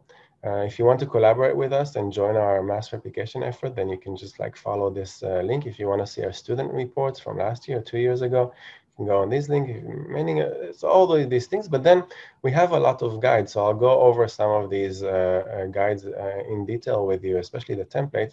So I just want to say uh, for some of these, uh, we have a really good cloud folder. So you can see over here, applications resource cloud folder. So if you like double click on this, so it will open our cloud folder. So you'll be able to go and have a look in terms of everything that we that we have in our project. And as you can see, you have our ethics approval. So you can just like go into uh, that link, click on this, see uh, all the years that we ran this, what our ethics approval is. And generally, I would say that as long as uh, there's no way to link this back to the individual, there's absolutely no uh, problem in sharing this. If anything, uh, the ethics uh, committee or, or HKU, HKU I, I think uh, promotes uh, sharing so that everything will be reproducible. So other people will be able to see what it is that we've done, learn from this, extend from this, perhaps help, help us catch catch errors. If we don't share anything, uh, the world will never know what it is that, that we've done. Uh, and even if you have some concerns, there's always some ways. So maybe you don't want to share everything, but at least share what it is that, that you can. So hopefully at some point, HKU will shift the default share everything unless. I can tell you uh, that as a reviewer, I joined something called the PRO Initiative, so peer review openness initiative, where I don't review any papers that don't share the data and, and their code, or explain why this is not possible. And right now we know that there are ways to, like it's always possible. You can even create synthetic data sets, but there's no excuse for not uh, sharing everything that you have. We now understand that we have a reproducibility replication crisis, so we need to share everything. We can't just trust uh, authors, you know, um, based on their words. We, we want to work together in order to catch errors and, and, and make sure that our um, science is reliable. Just imagine yourself, let's say that you're a student and you, you want to do a PhD. Let's say that you see this classic finding from whenever and whatever big, big shot uh, journal, and you spend five years trying to uh, you know do an extension do the next step build something on top of it just later to realize that the only reason that this was published is because of, a, of an error that they had in their code. So just imagine all the time wasted. You've wasted years of your life and all your training. The participants who took part in this the taxpayers who paid for the participants and for your salary or scholarship. Just imagine all the waste if we can't really make sure that our um, that our science is reliable. So there's really no excuse for us not sharing the data. Everything that we do is taxpayers' money uh, to let us do do our job and promote science. Uh, there's no me and you. Uh, you know, there's no reason for me to hide anything we all need to work together in order to address this. To do when you didn't find support for your hypothesis. So you're saying uh, maybe it still helps if the authors update their OSF page so that the community gets updates. I don't think you understand how extreme I am in my um, direction of open science. Not you and you update your OSF page. You submit this to the journal. You submit your um, non-significant null findings um, to the journal, and the journal should publish this. The results of whether you, what you found was significant or not should not be a factor on whether something is published or not. The only thing that should uh, be, be relevant is you know, how you design the study, whether the research question is interesting uh, and valuable and, and would have uh, you know, uh, impact or, or increase our knowledge, accumulation of knowledge in the scientific field, uh, whether it's rigorous and the methods are appropriate, and you know whether everything was done correctly in the sense that you know pre-registered and you well-powered samples and the measurements are accurate and, and so forth.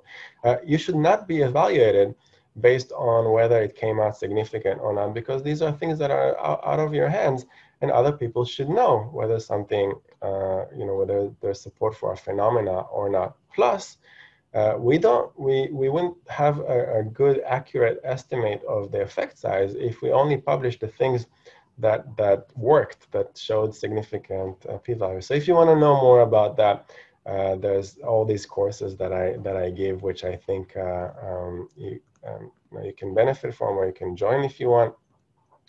Um, the one thing I wanted to say about this is, you know, um, right now we try to aggregate uh, all sorts of information. We don't have good tools for aggregation, but Curate Science tries to solve this sort of thing.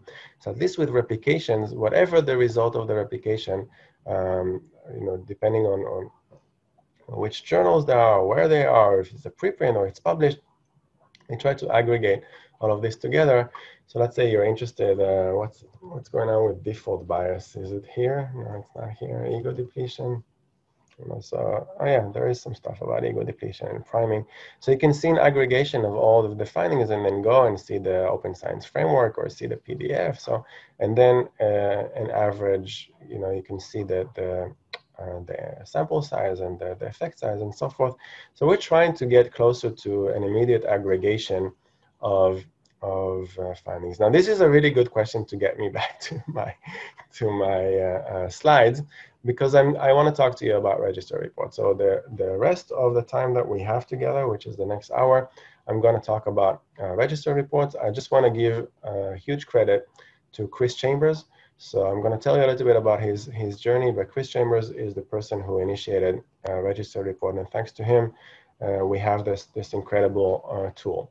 So um, this paradox that we have, especially I think uh, Tiffany would agree because she's the one who asked this, this last question, is that uh, even as PhD students, uh, as early career researchers, me personally, I am being uh, evaluated um, for, for the results. So which part of the research study do you believe is most important for advancing your career? The results. But the problem and the paradox in the way that our publication and incentive system is structured is that the results should be the one thing that we can't touch. Uh, we, we're observing a phenomena. We just, you know, we need to report the results as they are.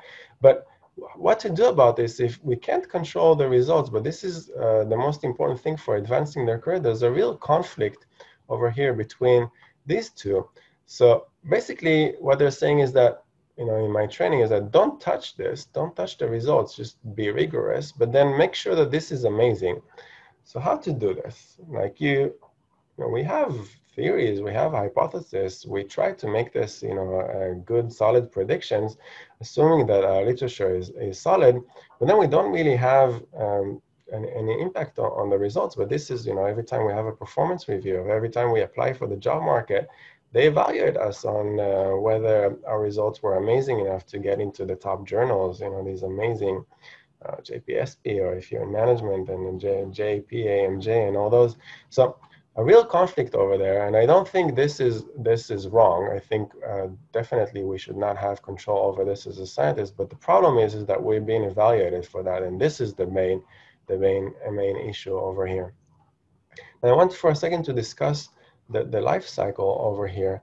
So the life cycle that gets us uh, the, this kind of pressure is that if you think about this uh, life cycle, we, we generate and specify hypotheses. So we've read the literature and we have some ideas and then we, we sit down and we think, uh, what can we do with this? So I read on default uh, bias effect and I said, could this be uh, also relevant for open science? So if we change the default practices for open science.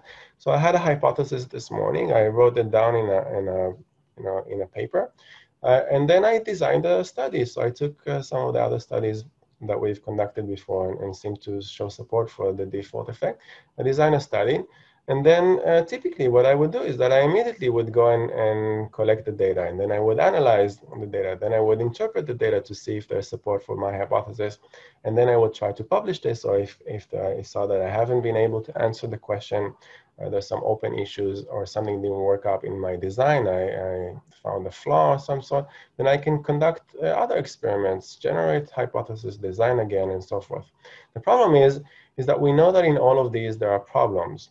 So uh, when we designed the study, at least until uh, in, in psychological science, until 2015, it took us some time to understand that our, our samples are very, very small and not sufficient uh, to, to answer our research questions when I did my PhD in a management department at the business school, uh, there was you know, moderation, mediation, multi-level on a, a, sample of 40, 40 participants, obviously this is unsustainable. Even an interaction really gets you, you, you really need to get to some large samples. And, and the management literature and up till 2012, um, 15, the social psychology literature, very, very small samples, 20 in each condition, um, and then you find these amazing effects with large effect sizes. So something about the way that we designed things didn't work out. And then we collect the data. But when we analyze this, we realized we didn't really find support for our, our hypothesis. So, you know, we really care about our hypothesis. So we have two options.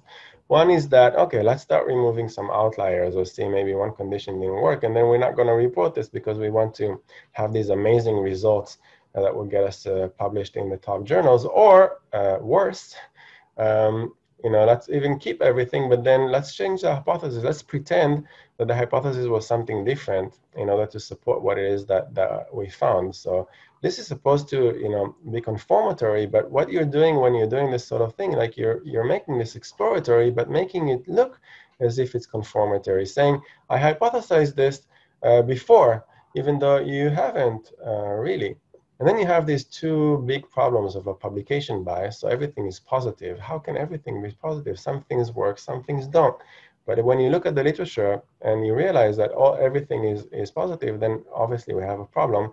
And then up until 2012, 2015, we haven't been doing replications in some fields like management.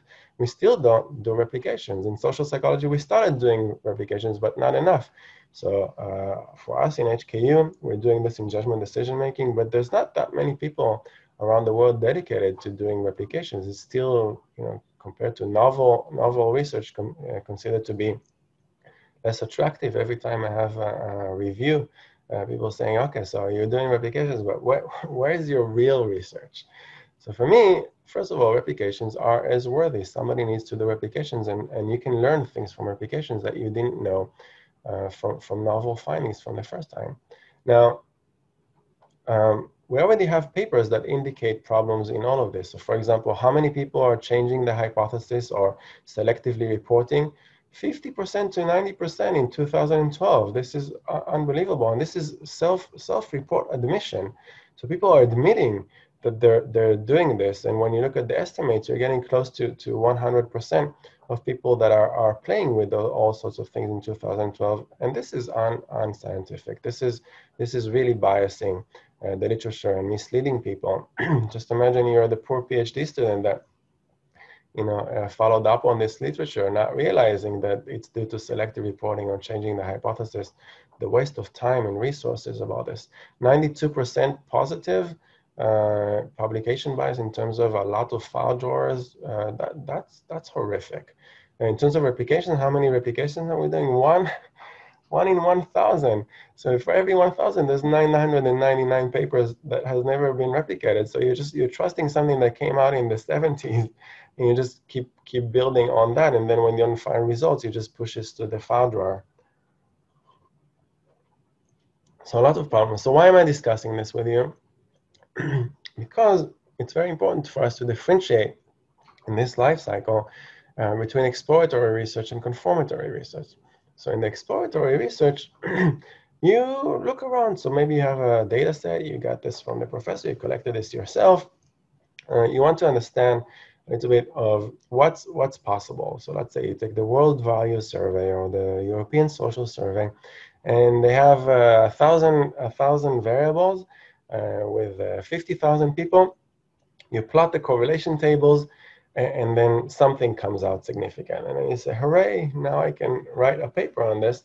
But this is not hooray. You've explored and you found something, but you don't know how reliable this is. And with a 50,000 people in a data set, everything will come out as significant. If, if you have a correlation of 0.001, it becomes uh, significant. So um, p-value isn't really uh, very in, in interpretable so large data sets have, have problems, but there's a real problem of using p-values when, when you look at exploratory research. So let's say that you found something here, uh, some effect that you want to look at, then you do confirmatory research. and then uh, you have a hypothesis. So let's say that you found this hypothesis from exploratory research on one data set, and then you look at a different data set and test your hypothesis. And then you do all sorts of things in order to control the type 1 error, the type 2 error. Um, so you need to look at p-values and the power. Do you have sufficient sample in order to test this, this hypothesis and, and find signal or not? And only then, together with measurement, together with other practices, p-value uh, gets a little bit uh, more meaningful. Definitely much more meaningful than it was when it was exploratory.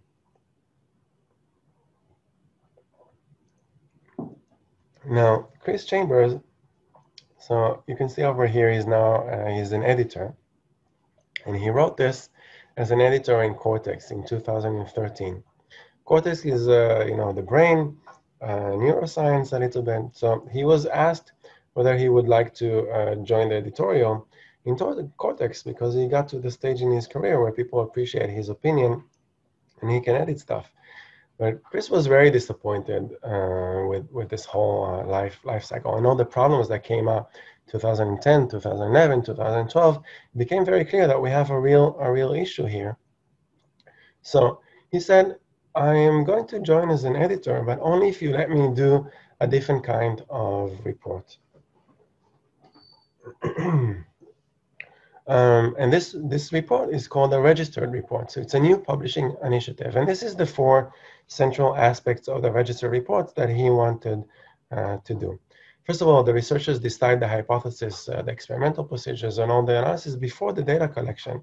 So the amazing thing about registered report is that you take the pre-registration and the pre-registration is submitted to the journal before data collection. So this is the first time that I know of that a peer review, an official peer review from a journal happens uh, before data collection uh, occurred. Sorry, my throat a little bit, too much talking. so um, you wrote up a pre-registration and you take this pre-registration and you send this off to the, to the journal. And that goes into peer review. And in this peer review, you negotiate, you work together, you collaborate uh, as the author with, with the peer reviewers where you try to reach the best design, the same, the, the best method in order to test the hypothesis uh, over there. Once you arrive at a conclusion, um, both of you agree that this is the best method before data collection, then they give you what's called an in-principle acceptance. It means that no matter what the outcome is, significant, not significant, no findings, yes or no, effect in this direction or that direction, uh, it's going to be published as long as you do your analysis uh, according to the pre-registration plan or you document the deviation. So you can deviate, you can change uh, things, but you need to document all the deviations and everything that you deviated is no longer conformatory, it becomes exploratory. And then future uh, studies will need to uh, conform, uh, confirm this, this again. So this was revolutionary. At the beginning, it started in Cortex, um, and people were kind of wondering what this means. So what? So peer review over the the, the pre-registration. That's really weird. So Chris was saying, look at this uh, traditional model. You develop an idea, design study, collect data, write report, but only here, just before the, public, the publication, only here, after you write the report, you send this off to peer review. Now, what Chris was suggesting is that first you develop an idea and design a study, then you send it off to peer review. Both of you collaborate in order to try and understand what the best design is. They give you in-principle acceptance, and only after the in-principle acceptance, uh, uh, you go pre-register and you collect the data. And it doesn't matter what comes up over here. Um, the in-principle acceptance means that you're going to um, you're going to publish this. So the only thing that happens in the first uh, stage of the peer review is, are these questions. So you're not evaluated whether the p-value is lower than 0.01, but you're evaluated on are the hypothesis well-founded? Are they reasonable, given everything that we know right now from the literature? Are the methods and proposed analysis feasible and enough uh, detail is provided for you to understand what is going on? Is it well-powered? Are the measurements precise? Uh, and, are there enough uh, controls for you to really uh, make sure that if you find something, it's the thing that you wanted to find. Then at the stage two, the only thing that the reviewers actually do over here in the second stage is to make sure that the author followed the approved protocol, or if not, uh, that they deviated and explained why they, they deviated, and then whether the conclusions are justified uh, by, by the data. So uh, this is a little bit how it works. So I explained this. Uh, so you submit this as a stage one, then it's been sent to uh, peer review, and then you get the in principle acceptance. And then in the in the after you do the research, you submit the stage two, and the, um, uh, just update the results with the new results, the discussion, of course, uh, based on the new results. And then you put everything, open science, data materials deposited in a public archive. Uh, and then comes the, the peer review. And the only thing is that they assess compliance and it's published. So uh, all the things, Tiffany, that you were worried about, whether your hypothesis was supported, whether your p-value is lower than 0.05, whether your results are novel or not, um, it's not even, doesn't matter much whether the results have impact, which has been so important for journals uh, before. Uh, so all of these are not important for you to get published. The only thing that matters is that here in this in this stage, your idea and your uh, design are, are adequate. so if we look at this uh, cycle with all the problems that we have over here, how is how is this model, this register report, how does this uh, tackle these these problems. So if you think about this, there is no publication bias because we publish everything: positive, negative, uh, null findings, findings. Doesn't matter what the results are. Everything is published. So we can really have an combination. So we take out this part over here. Then it eliminates all sorts of p-hacking. There's no reason for you to have selective reporting or changing your hypothesis because you, together with the peer reviewers, work in order to have the best, uh, the best uh, outcome. And then if you're not uh, assessed based on the on the outcome, then there's no reason for you to mess around with it in order to get promoted or find a job in the job market. So if we do this, we eliminate uh, all these problems over here. And then uh, if we insist in the peer review, before you collected the data, we insist that you have uh, sufficient statistical power, that your uh, samples are uh, good enough in order for you to test whatever your model is. So if you do have moderation, mediation, multi-level, or anything else, then really have you, do you have the, the, the, the, sample for that? Do you have enough participants? Do you have the right design to, for, to be able to test this? So you're taking away this problem over here. And then um, even if you do a replication, uh, a lot of the register reports are replications. So you tackle this problem of a replication. Novelty is not a big issue in register reports. And then because register reports are all about uh, open science, then you also tackle uh, data sharing. So the, for the first time, I think in since we started doing uh, uh, science, we arrived with register reports to a point where all of the issues that we had going around this uh, life cycle, all of them uh, disappeared and we have something that, that should work, should work well. So it should be reproducible, it should be transparent, and it should be credible. Um, the nice thing about this is that you can get expert reviewer feedback when it's most useful. So it's not useful after you collected data and spent five years working on your thesis, then you submit this to the journals and then the, the uh, reviewers say, but why didn't you do that? even even if I if even if I knew about this, it's not really clear whether I could have done this to what extent. But it's definitely not helpful that you're telling me this now after the fact. So many journals say, okay, so go and run this again. And then you spend more time going over this and another round of re review. But if you do the review at the design stage, then you get the reviewer feedback when it's useful. And then they can't come back to you in, in stage two and say, oh, we forgot something. They need to do everything. All the reviewer feedback is a stage one. Now, a lot of PhD students um, and early career researchers have a problem where they send things to the journals so back in my in my management PhD, uh, you know, the top journals that we were pushed to to submit to had a rejection rate of 90, sometimes 95 percent, which is ridiculous. Even in Cortex, you know, it's a, a good journal in Neuro. 90% of the regular articles are rejected. How many are rejected for registered reports? In the stage one, 10%, 10% rejected and they're basically rejected because uh, the people didn't understand what register reports are. So it's like technicality. So actually no rejections. And in stage two, nothing is ever rejected in stage two because the only thing that stage two does is to make sure that there's an adherence to stage one. So just think about this.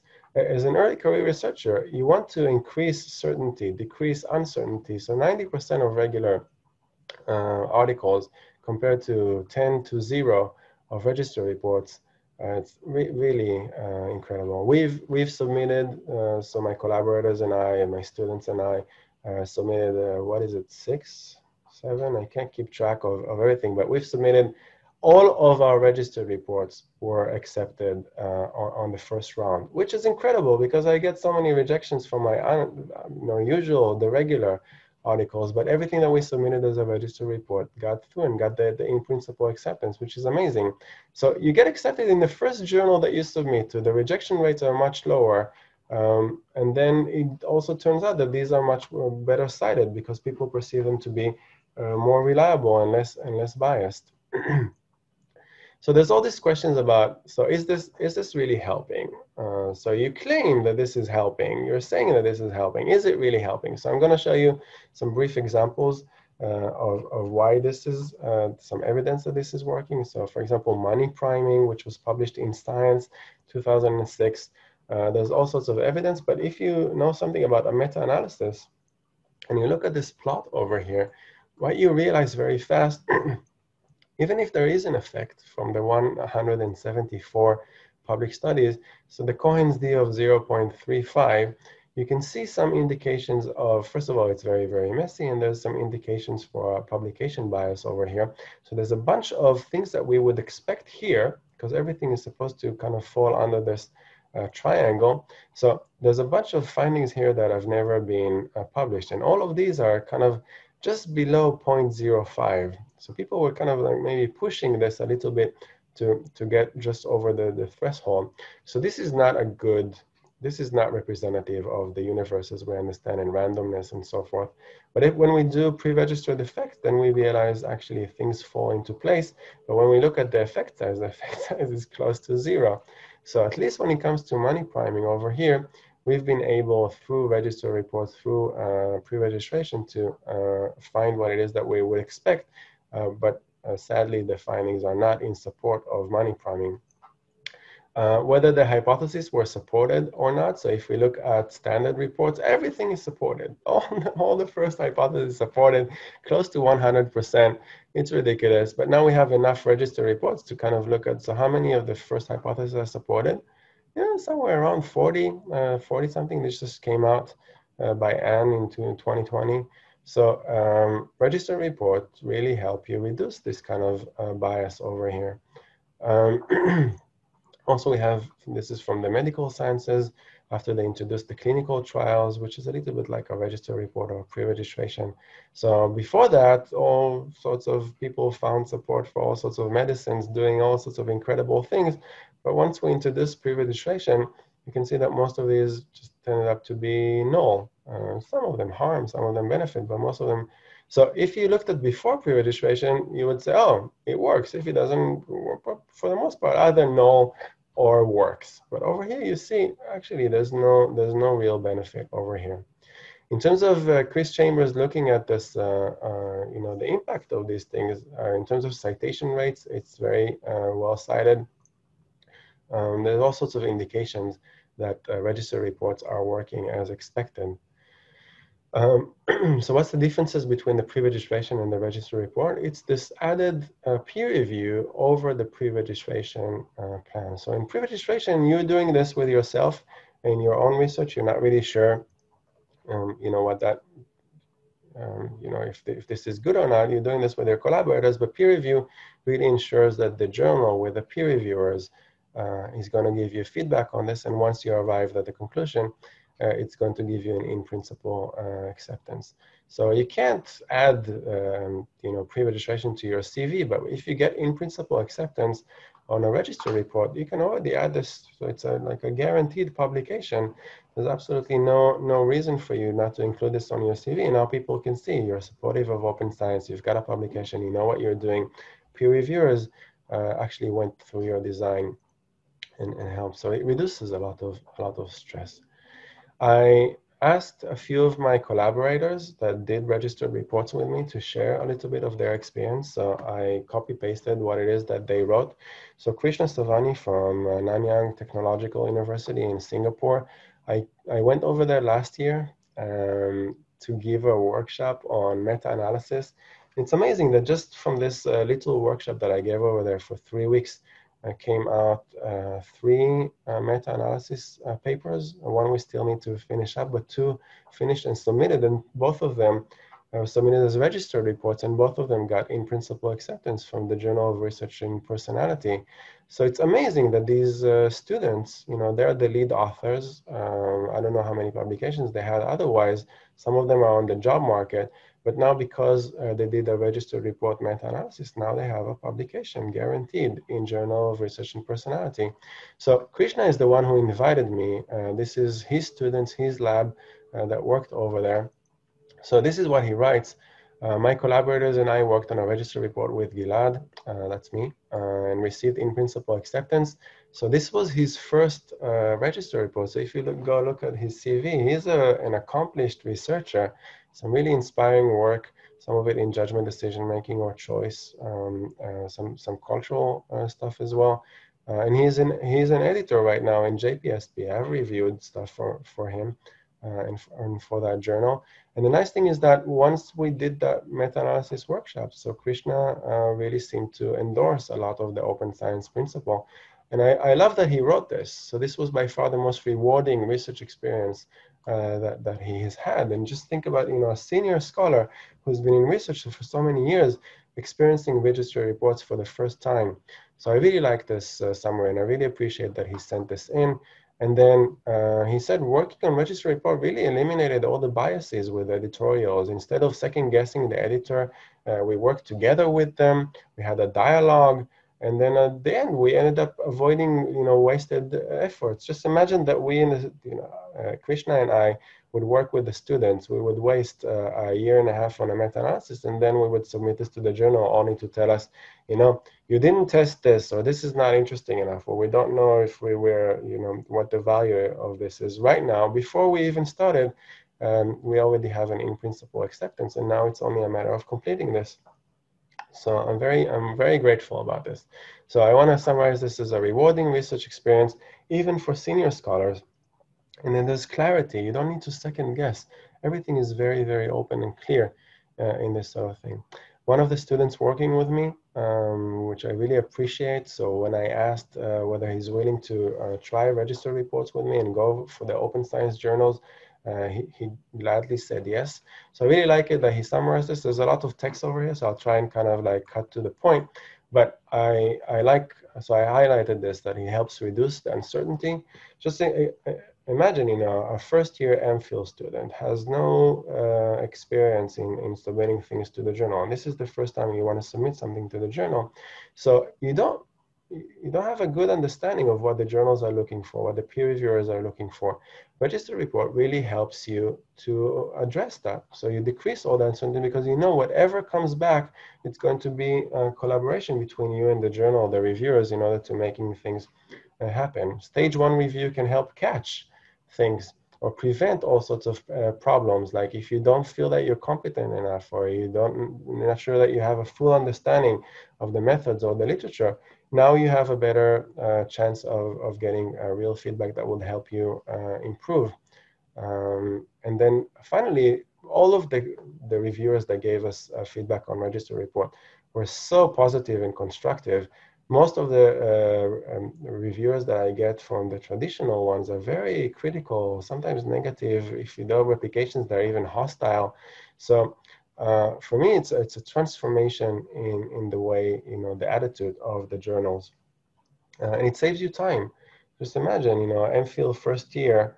Uh, I don't know uh, how long it took you if you have a publication or, or to get to a publication, uh, but but Chinyu has been able to to do well in this regard. So that's that's really incredible to be able to finish an MPhil with, with publications in, in good journals. So reduce uncertainty, more confidence into catch errors, peace of mind, saves time. I really like this sort of uh, thing. In addition, the reviewers contribute meaningful, uh, meaningful things. The peer review really helps you make the paper stronger. And I think it's nice that uh, Chinyu added this, that it's, uh, I strongly recommend ECRs and research students in their first or second year to try RR honestly, going back, if I could do my PhD again, I would ask that everything that I do in my first years, you know, working with this professor, that professor, everything would be a registered report. It would take away so much of the stress and the uncertainty. So students that want to uh, do research with me, I say uh, only only register reports. So the only thing that I don't do as register reports, we do our own register reports uh, in the courses, are the students that are doing uh, pre-register applications and extensions in my courses, which requires, you know, very tight uh, time. Um, but this semester we're doing register reports. So, okay, let's let's have a look uh, at our resources. Um, so I've I've babbled for about half an hour about why you need reg register report, but hopefully I convinced you that there's value in this, and that this is a real uh, paradigm shift in terms of uh, if I would be you, if uh, definitely if you're an early career researcher, I would really put myself, you know, in terms of doing only register reports uh, from now on moving forward. And if you have some issues with your uh, professors or your PIs, and you're not sure how this is going to work because you're doing, I don't know, fMRI or whatever, uh, secondary da data analysis, uh, then contact me. I will have resources and people for you to talk to that could help uh, convince your professors to, to look at this. So I'm going to show you, uh, first of all, uh, one of the questions that you uh, will probably ask is, so what journals are supporting this? So let's say I'm in uh, clinical psychology or educational psychology or the management uh, field. What kind of journals can I hope to submit to? So by now, registered reports are formatted by over 250 uh, journals. And you can go on this uh, website over here in the Center of Open Science and have a look at which ones are participating. So you can click on participating journals, so 263 already. So that's really nice. And you have um, from all, all fields, uh, I think by now, almost everything that you uh, want to uh, do, any field will have some uh, journal that's supportive of, of registered reports. So I'll just like go very briefly through this and I'll tell you like my experience uh, uh, with all of this. But um, so like for example, you can see already biology and ecology and medicine, BMJ Open Science is very open for all sorts of, of, of other uh, you know, man, many disciplines kind of like, um, so there's gen generally experimental psychology over here. Uh, I, I submitted uh, cognition and emotion. So the editors over there are very supportive of open science and pre-registrations and replication work. So if you want to do replication, Collabra right now, the editor is Simine Vazire that used to be in SPPS, uh, one of the, I would say, leaders or thought, uh, thought leaders in the open science community. So the editorial team in Collabra is very, very supportive of open science. This is the first year, I think, that they got their impact factor and it's close to two. So that's amazing. Comprehensive results in social psychology. I was very fortunate to be in Maastricht University in my postdoc with uh, Kai Jonas that, that um, that uh, formed this uh, this journal are still still new, but they only publish register reports. They don't accept anything else. Everything is done with uh, stage one, stage two uh, peer review. um, so what else can I show you over here? Let me think. So a lot of these, uh, you know, evolution, human behavior, uh, physiology, all the frontiers, although I don't really appreciate that journal but it's supported of that. Um, there are some like if I think some of you are from from management, so there are a few a few in management even from our uh, area. So I told you that we publish, so we have two in principle acceptances from Journal of Research and Personality.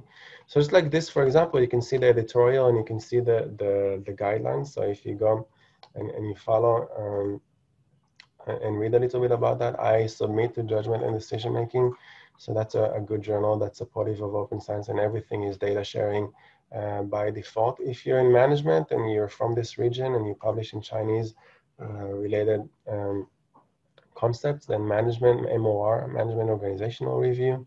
Metapsychology is a new journal that's very supportive of registry reports. So really a lot of options now.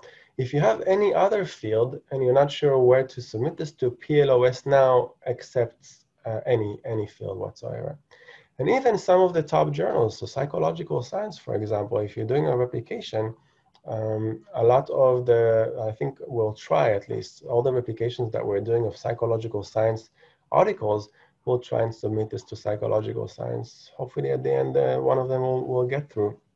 So they're a little bit selective in terms of which ones, which replications, but uh, it's amazing that they, they're um, that they're accepting this, that they're looking into it. So little by little, we have more and more of this. I think uh, even JPSP, uh, which is a journal of personality in social psychology, is changing it ways, its ways. So now we're going to submit a, a replication registered uh, report uh, to them. So a lot of promising directions for you to take this, whatever whatever field you're from. And honestly, I really feel like with the uh, Hong Kong Open Science um, principles assessment in three years, five years in Hong Kong and elsewhere, register reports, uh, the open science journals are going to be the most important for you in your career and not, you know, the, the other more traditional uh, factors.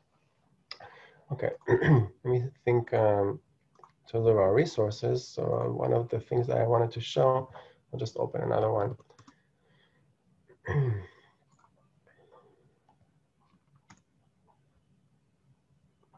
Okay, so let's go back to the resources uh, section. And now I want to show you some templates. Um, so let's say that you're you're committed to register reports. Like I convinced you, uh, you want you want to give this a try. So um, we in our course we do register reports for replication. So we developed a lot of tools for you to uh, take and and adopt. So I'm just going to give you an example if you go to this section over here, you'll see that there's a replication and extension main manuscript template. So I'm going to open this. And I also want to show you uh, that Kit, one of the students that is working with me, um, has also done one for uh, register reports for experimental meta-analysis. Uh, Adrian will uh, soon complete a correlational meta-analysis register report. So we'll have a register report for reg uh, replication and extension, experimental meta-analysis, and a correlational meta-analysis, and you should take into consideration that this also includes, uh, you know, data simulation and, and R Markdown in order to analyze these sort of things. So let's have a look and see uh, what this looks like. Uh, I'm gonna open both of them, so both the um, the manuscript, uh, main manuscript, and the supplementary. And this is the main tool that our students in my courses uh, use. And basically what you can do is you can go open uh, this over here. You can go to file, you can make a duplicate of this and then, just like start working on this. Um, all right, so you can see this is collaborative. So actually you can also go in and, and, and include some stuff. So for example, Kit and, and Chini over here are helping me out and including all sorts of things. And this looks like a regular manuscript. Uh, there are also things about who contributed uh, what. So there's a, a taxonomy over here but it's it's uh, so clear and so easy because everything is separated into sections and then you know that as a registered reports what to submit when. So for example uh, for the pre-registration you just need to do the introduction the methods uh, the results um, and then in the supplementary you just need to do some of them. So you know for each stage for stage one stage two uh, what needs to be submitted uh, where. And then finally everything that you need to edit is actually in, in, uh, in yellow. Uh, it looks a little bit messy now, but once you start going through this, uh, why is there so many? Oh, they added all sorts of things. So I'm gonna, I'm, I'm very trusting of my students. So I'm going to accept everything that they said, and then I'll, I'll go over this later on. Um, but generally, you can see that um, all of these um, you know, very easy to to update every, everything. And whenever whenever there's some stuff that you should go into, we just include this in kind of like these uh, parentheses of, of how to what to look into. You know, some instructions over here. So our uh, students should be able to just go uh, go over this uh, template and just simply uh, put everything into it. Once you have this template, it's much easier to just get things uh, things going. You can see this now for stage one, just the uh, methods and results are using randomized uh, data set from, from Qualtrics. So a lot of a lot of instructions, uh, a lot of instructions over here. We also specify what the design is. So for example, over here you have like a three condition by two conditions, and then you know what the DV is. Um, so just by just by going over this template, you should arrive at your own manuscript based on whatever your hypothesis is, rather uh, rather um, uh, simple, rather easy. Uh, the last part that I wanted to share with you, I see many of you have disappeared already, so that's okay, um, is this part about uh, frequently asked uh, uh, questions. So um, at this stage, I'm gonna I'm, like I'm gonna open the floor to you if you have any questions. Like if you wrote something from before, it disappeared, but this is like a good time for you to ask things. So for the last two and a half hours, I uh, went over a lot of stuff, uh, showed you some of our resources, uh, shared a little bit of our experience. Um, so if you have, if you're still here and you want to talk about something, something that bothers you, then uh, this is a good time. If you don't, I'll just keep going through uh, some of what Chris Chambers uh, is, you know, telling people about uh, registered reports. So for example, one of the main concerns that people have is that this involves a lot of time. So as, as you've heard the Simons uh, saying, it's not necessarily so. As you've seen me demonstrate at the beginning, uh, you can do this uh, fairly easy with the register reports template. Can really get a register report up and running in terms of being ready for peer review uh, rather fast. people are really worried that this is going to limit their exploration or perhaps emphasize uh, confirmatory research over exploratory research. Uh, but this is really not, not the case. So the only thing that register reports is meant to do is to separate exploratory and confirmatory. So you can explore as much as you want. After you've collected data and you want to add something, that's terrific. No problem whatsoever. Uh, the only thing is that you need to document this as a deviation from your register reports and then just make sure that it's uh, termed as uh, exploratory. Now, Chris Chambers did not just stop with the register reports. Right now in Cortex and some other journals, there's also uh, exploration reports. So um, there is room for reports that focus on exploration. The only problem is when people some, somehow confuse exploratory research with confirmatory uh, research. Let me see what, what else is here. Uh, is, is it suitable for me as an early career researcher? So Chris is saying yes. Uh, I think, uh, especially for me, let's say at some point I would hire somebody uh, to join my lab, or when I when I look at my collaborators, when somebody wants to work with me, the first thing that I look at is whether they're supportive of register reports. I, if somebody comes with register reports co compared to traditional findings, let's say somebody comes with me uh, to me uh, with a, a, psychological science that was not pre-registered. And somebody comes to me um, uh, with a registered report from, let's say, comprehensive results in social psychology or meta psychology. I would much rather work with somebody who is supportive of open science and has done registered reports rather than you know remarkable findings in some of the top journals. I don't I don't really understand impact factors and, and top journals. I don't know why they're still emphasized. Uh, if I am um, in charge of anything in, in the department, I would really uh, emphasize this. And, and you think that now what I'm saying is extreme and perhaps definitely deviating from the norm, I feel like in five years, the norms are going to be uh, very different. So you need to prepare for what's happening in five years. If you're a student, you need to prepare for your job market. If you're an early career researcher, you need to prepare for when you're going to be uh, up for tenure. Um, so for all of these, I think in five years, we're going to be assessed on whether we do a solid research that, that's replicable, that's uh, reasonable, um, has merit. And, and, this comes in the form of register reports and open science. Acceptance rate, just like I told you, about 10% to 0%, it's unbelievable. Uh, another concern that people have is in terms of how long it takes. So you can talk to Chinyu or Krishna or uh, Kevin and Velvet have done uh, this with me, it went pretty fast. So let's say from uh, initial submission, took about two, three months for us to get our initial review. It took uh, most of the time, it took us about, I don't know, two, three weeks uh, to revise this and then submit this again. And then, and then it got, um, it, it got the in principle acceptance. So what Chris is sharing over here from Cortex is, is quite, it's quite common, two to four months for you to get your in principle acceptance. Uh, what happens if you need to change something about the study procedures? Like let's say uh, it's, it's in principle acceptance, but then you realize that there's some problem.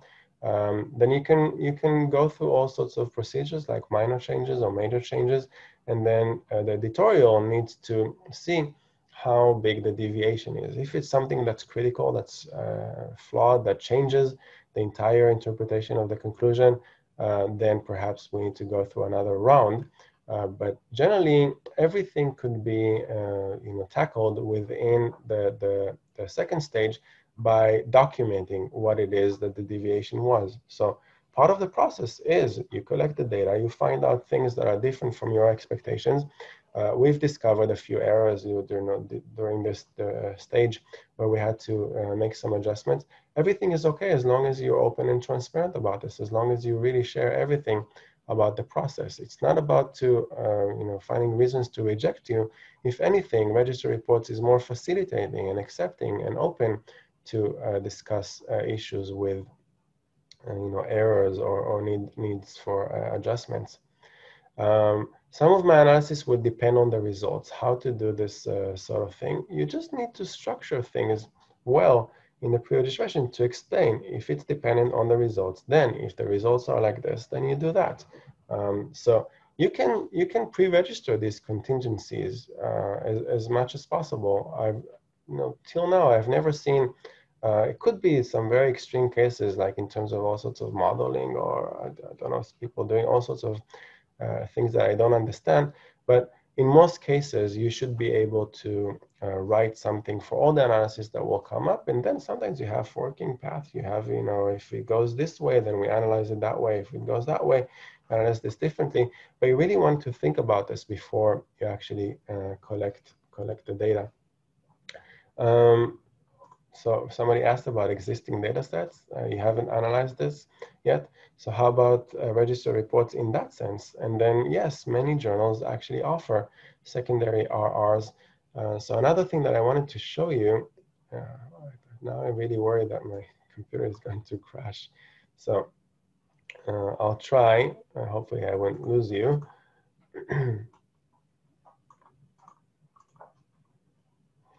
So I want to show you that um, the Center of Open Science also did uh, this remarkable uh, register reports. Um, so yeah, hold on. Comparison of register reports. So you can get to this from the main from the main page for the register reports.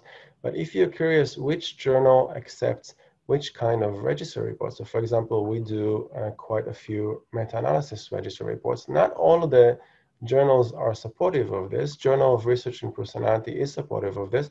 But if you want to do a replication, some journals are accepting of this or specialize in this. If you want to do a meta-analysis, uh, uh, uh, specialize in this. What you can see over here for, I forgot who asked about the secondary data analysis, is that you have column seven, and most of them, or many of them, have the feature of doing a register report for existing data sets.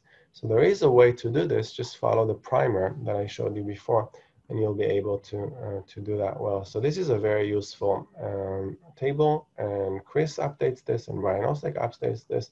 So I visit this quite often to keep in track of who, who publishes replications and meta-analysis, which is the two columns that I really care about.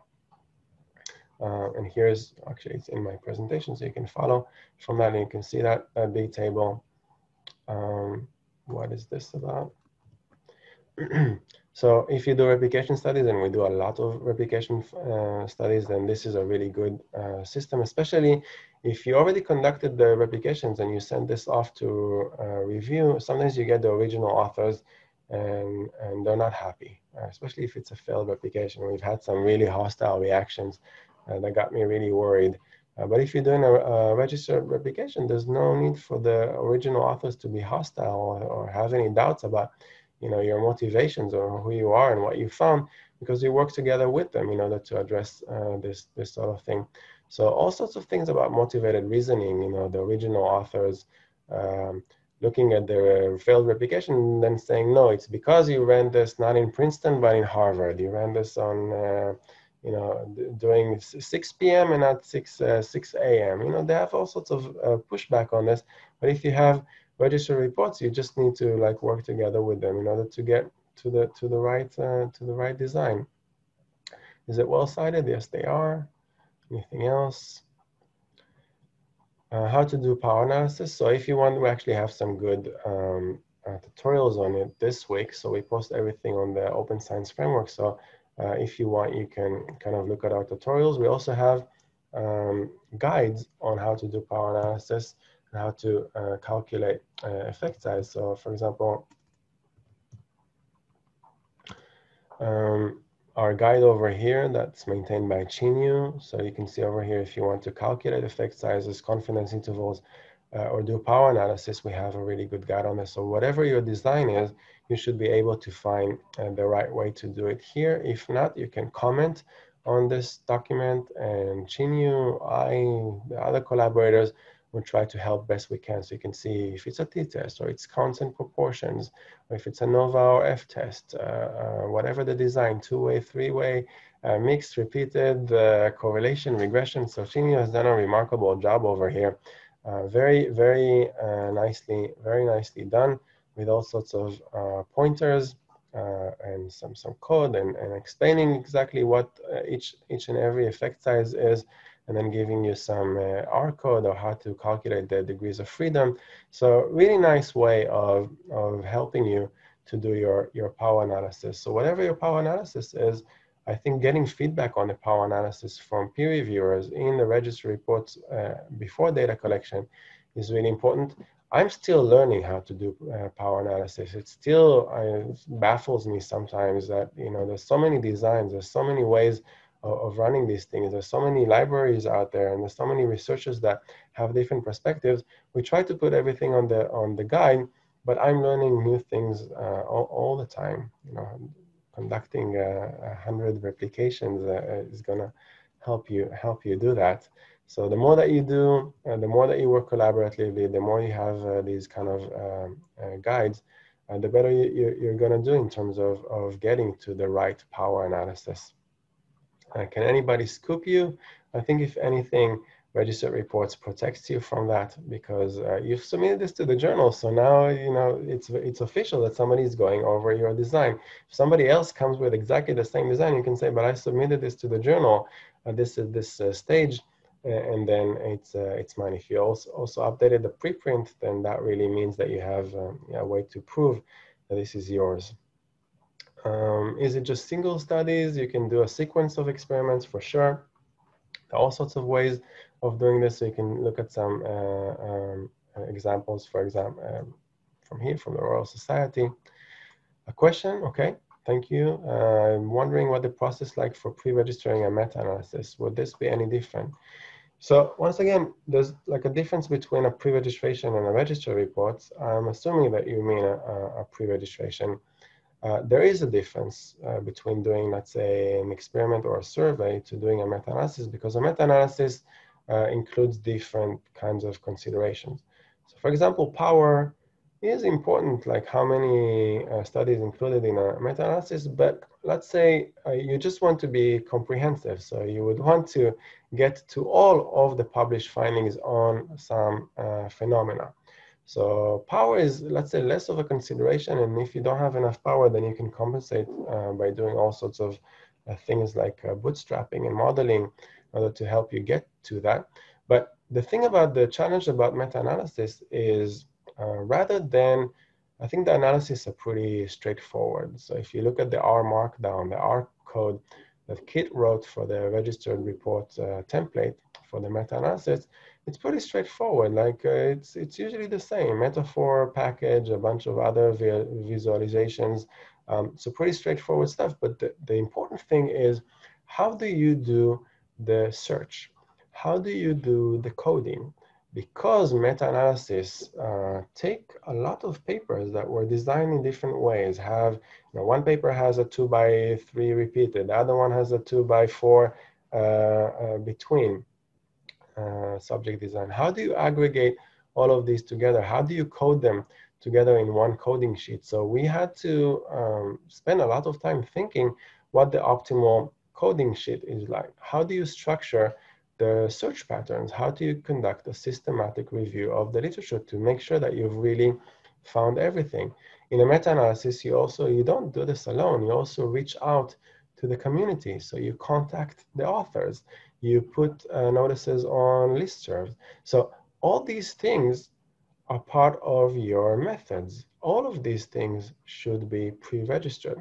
So I think more in, in, the you know the experimental and the correlation also. You have you have very um, you know you know you have things that are more about the so is it well designed how to analyze this what is the right analysis?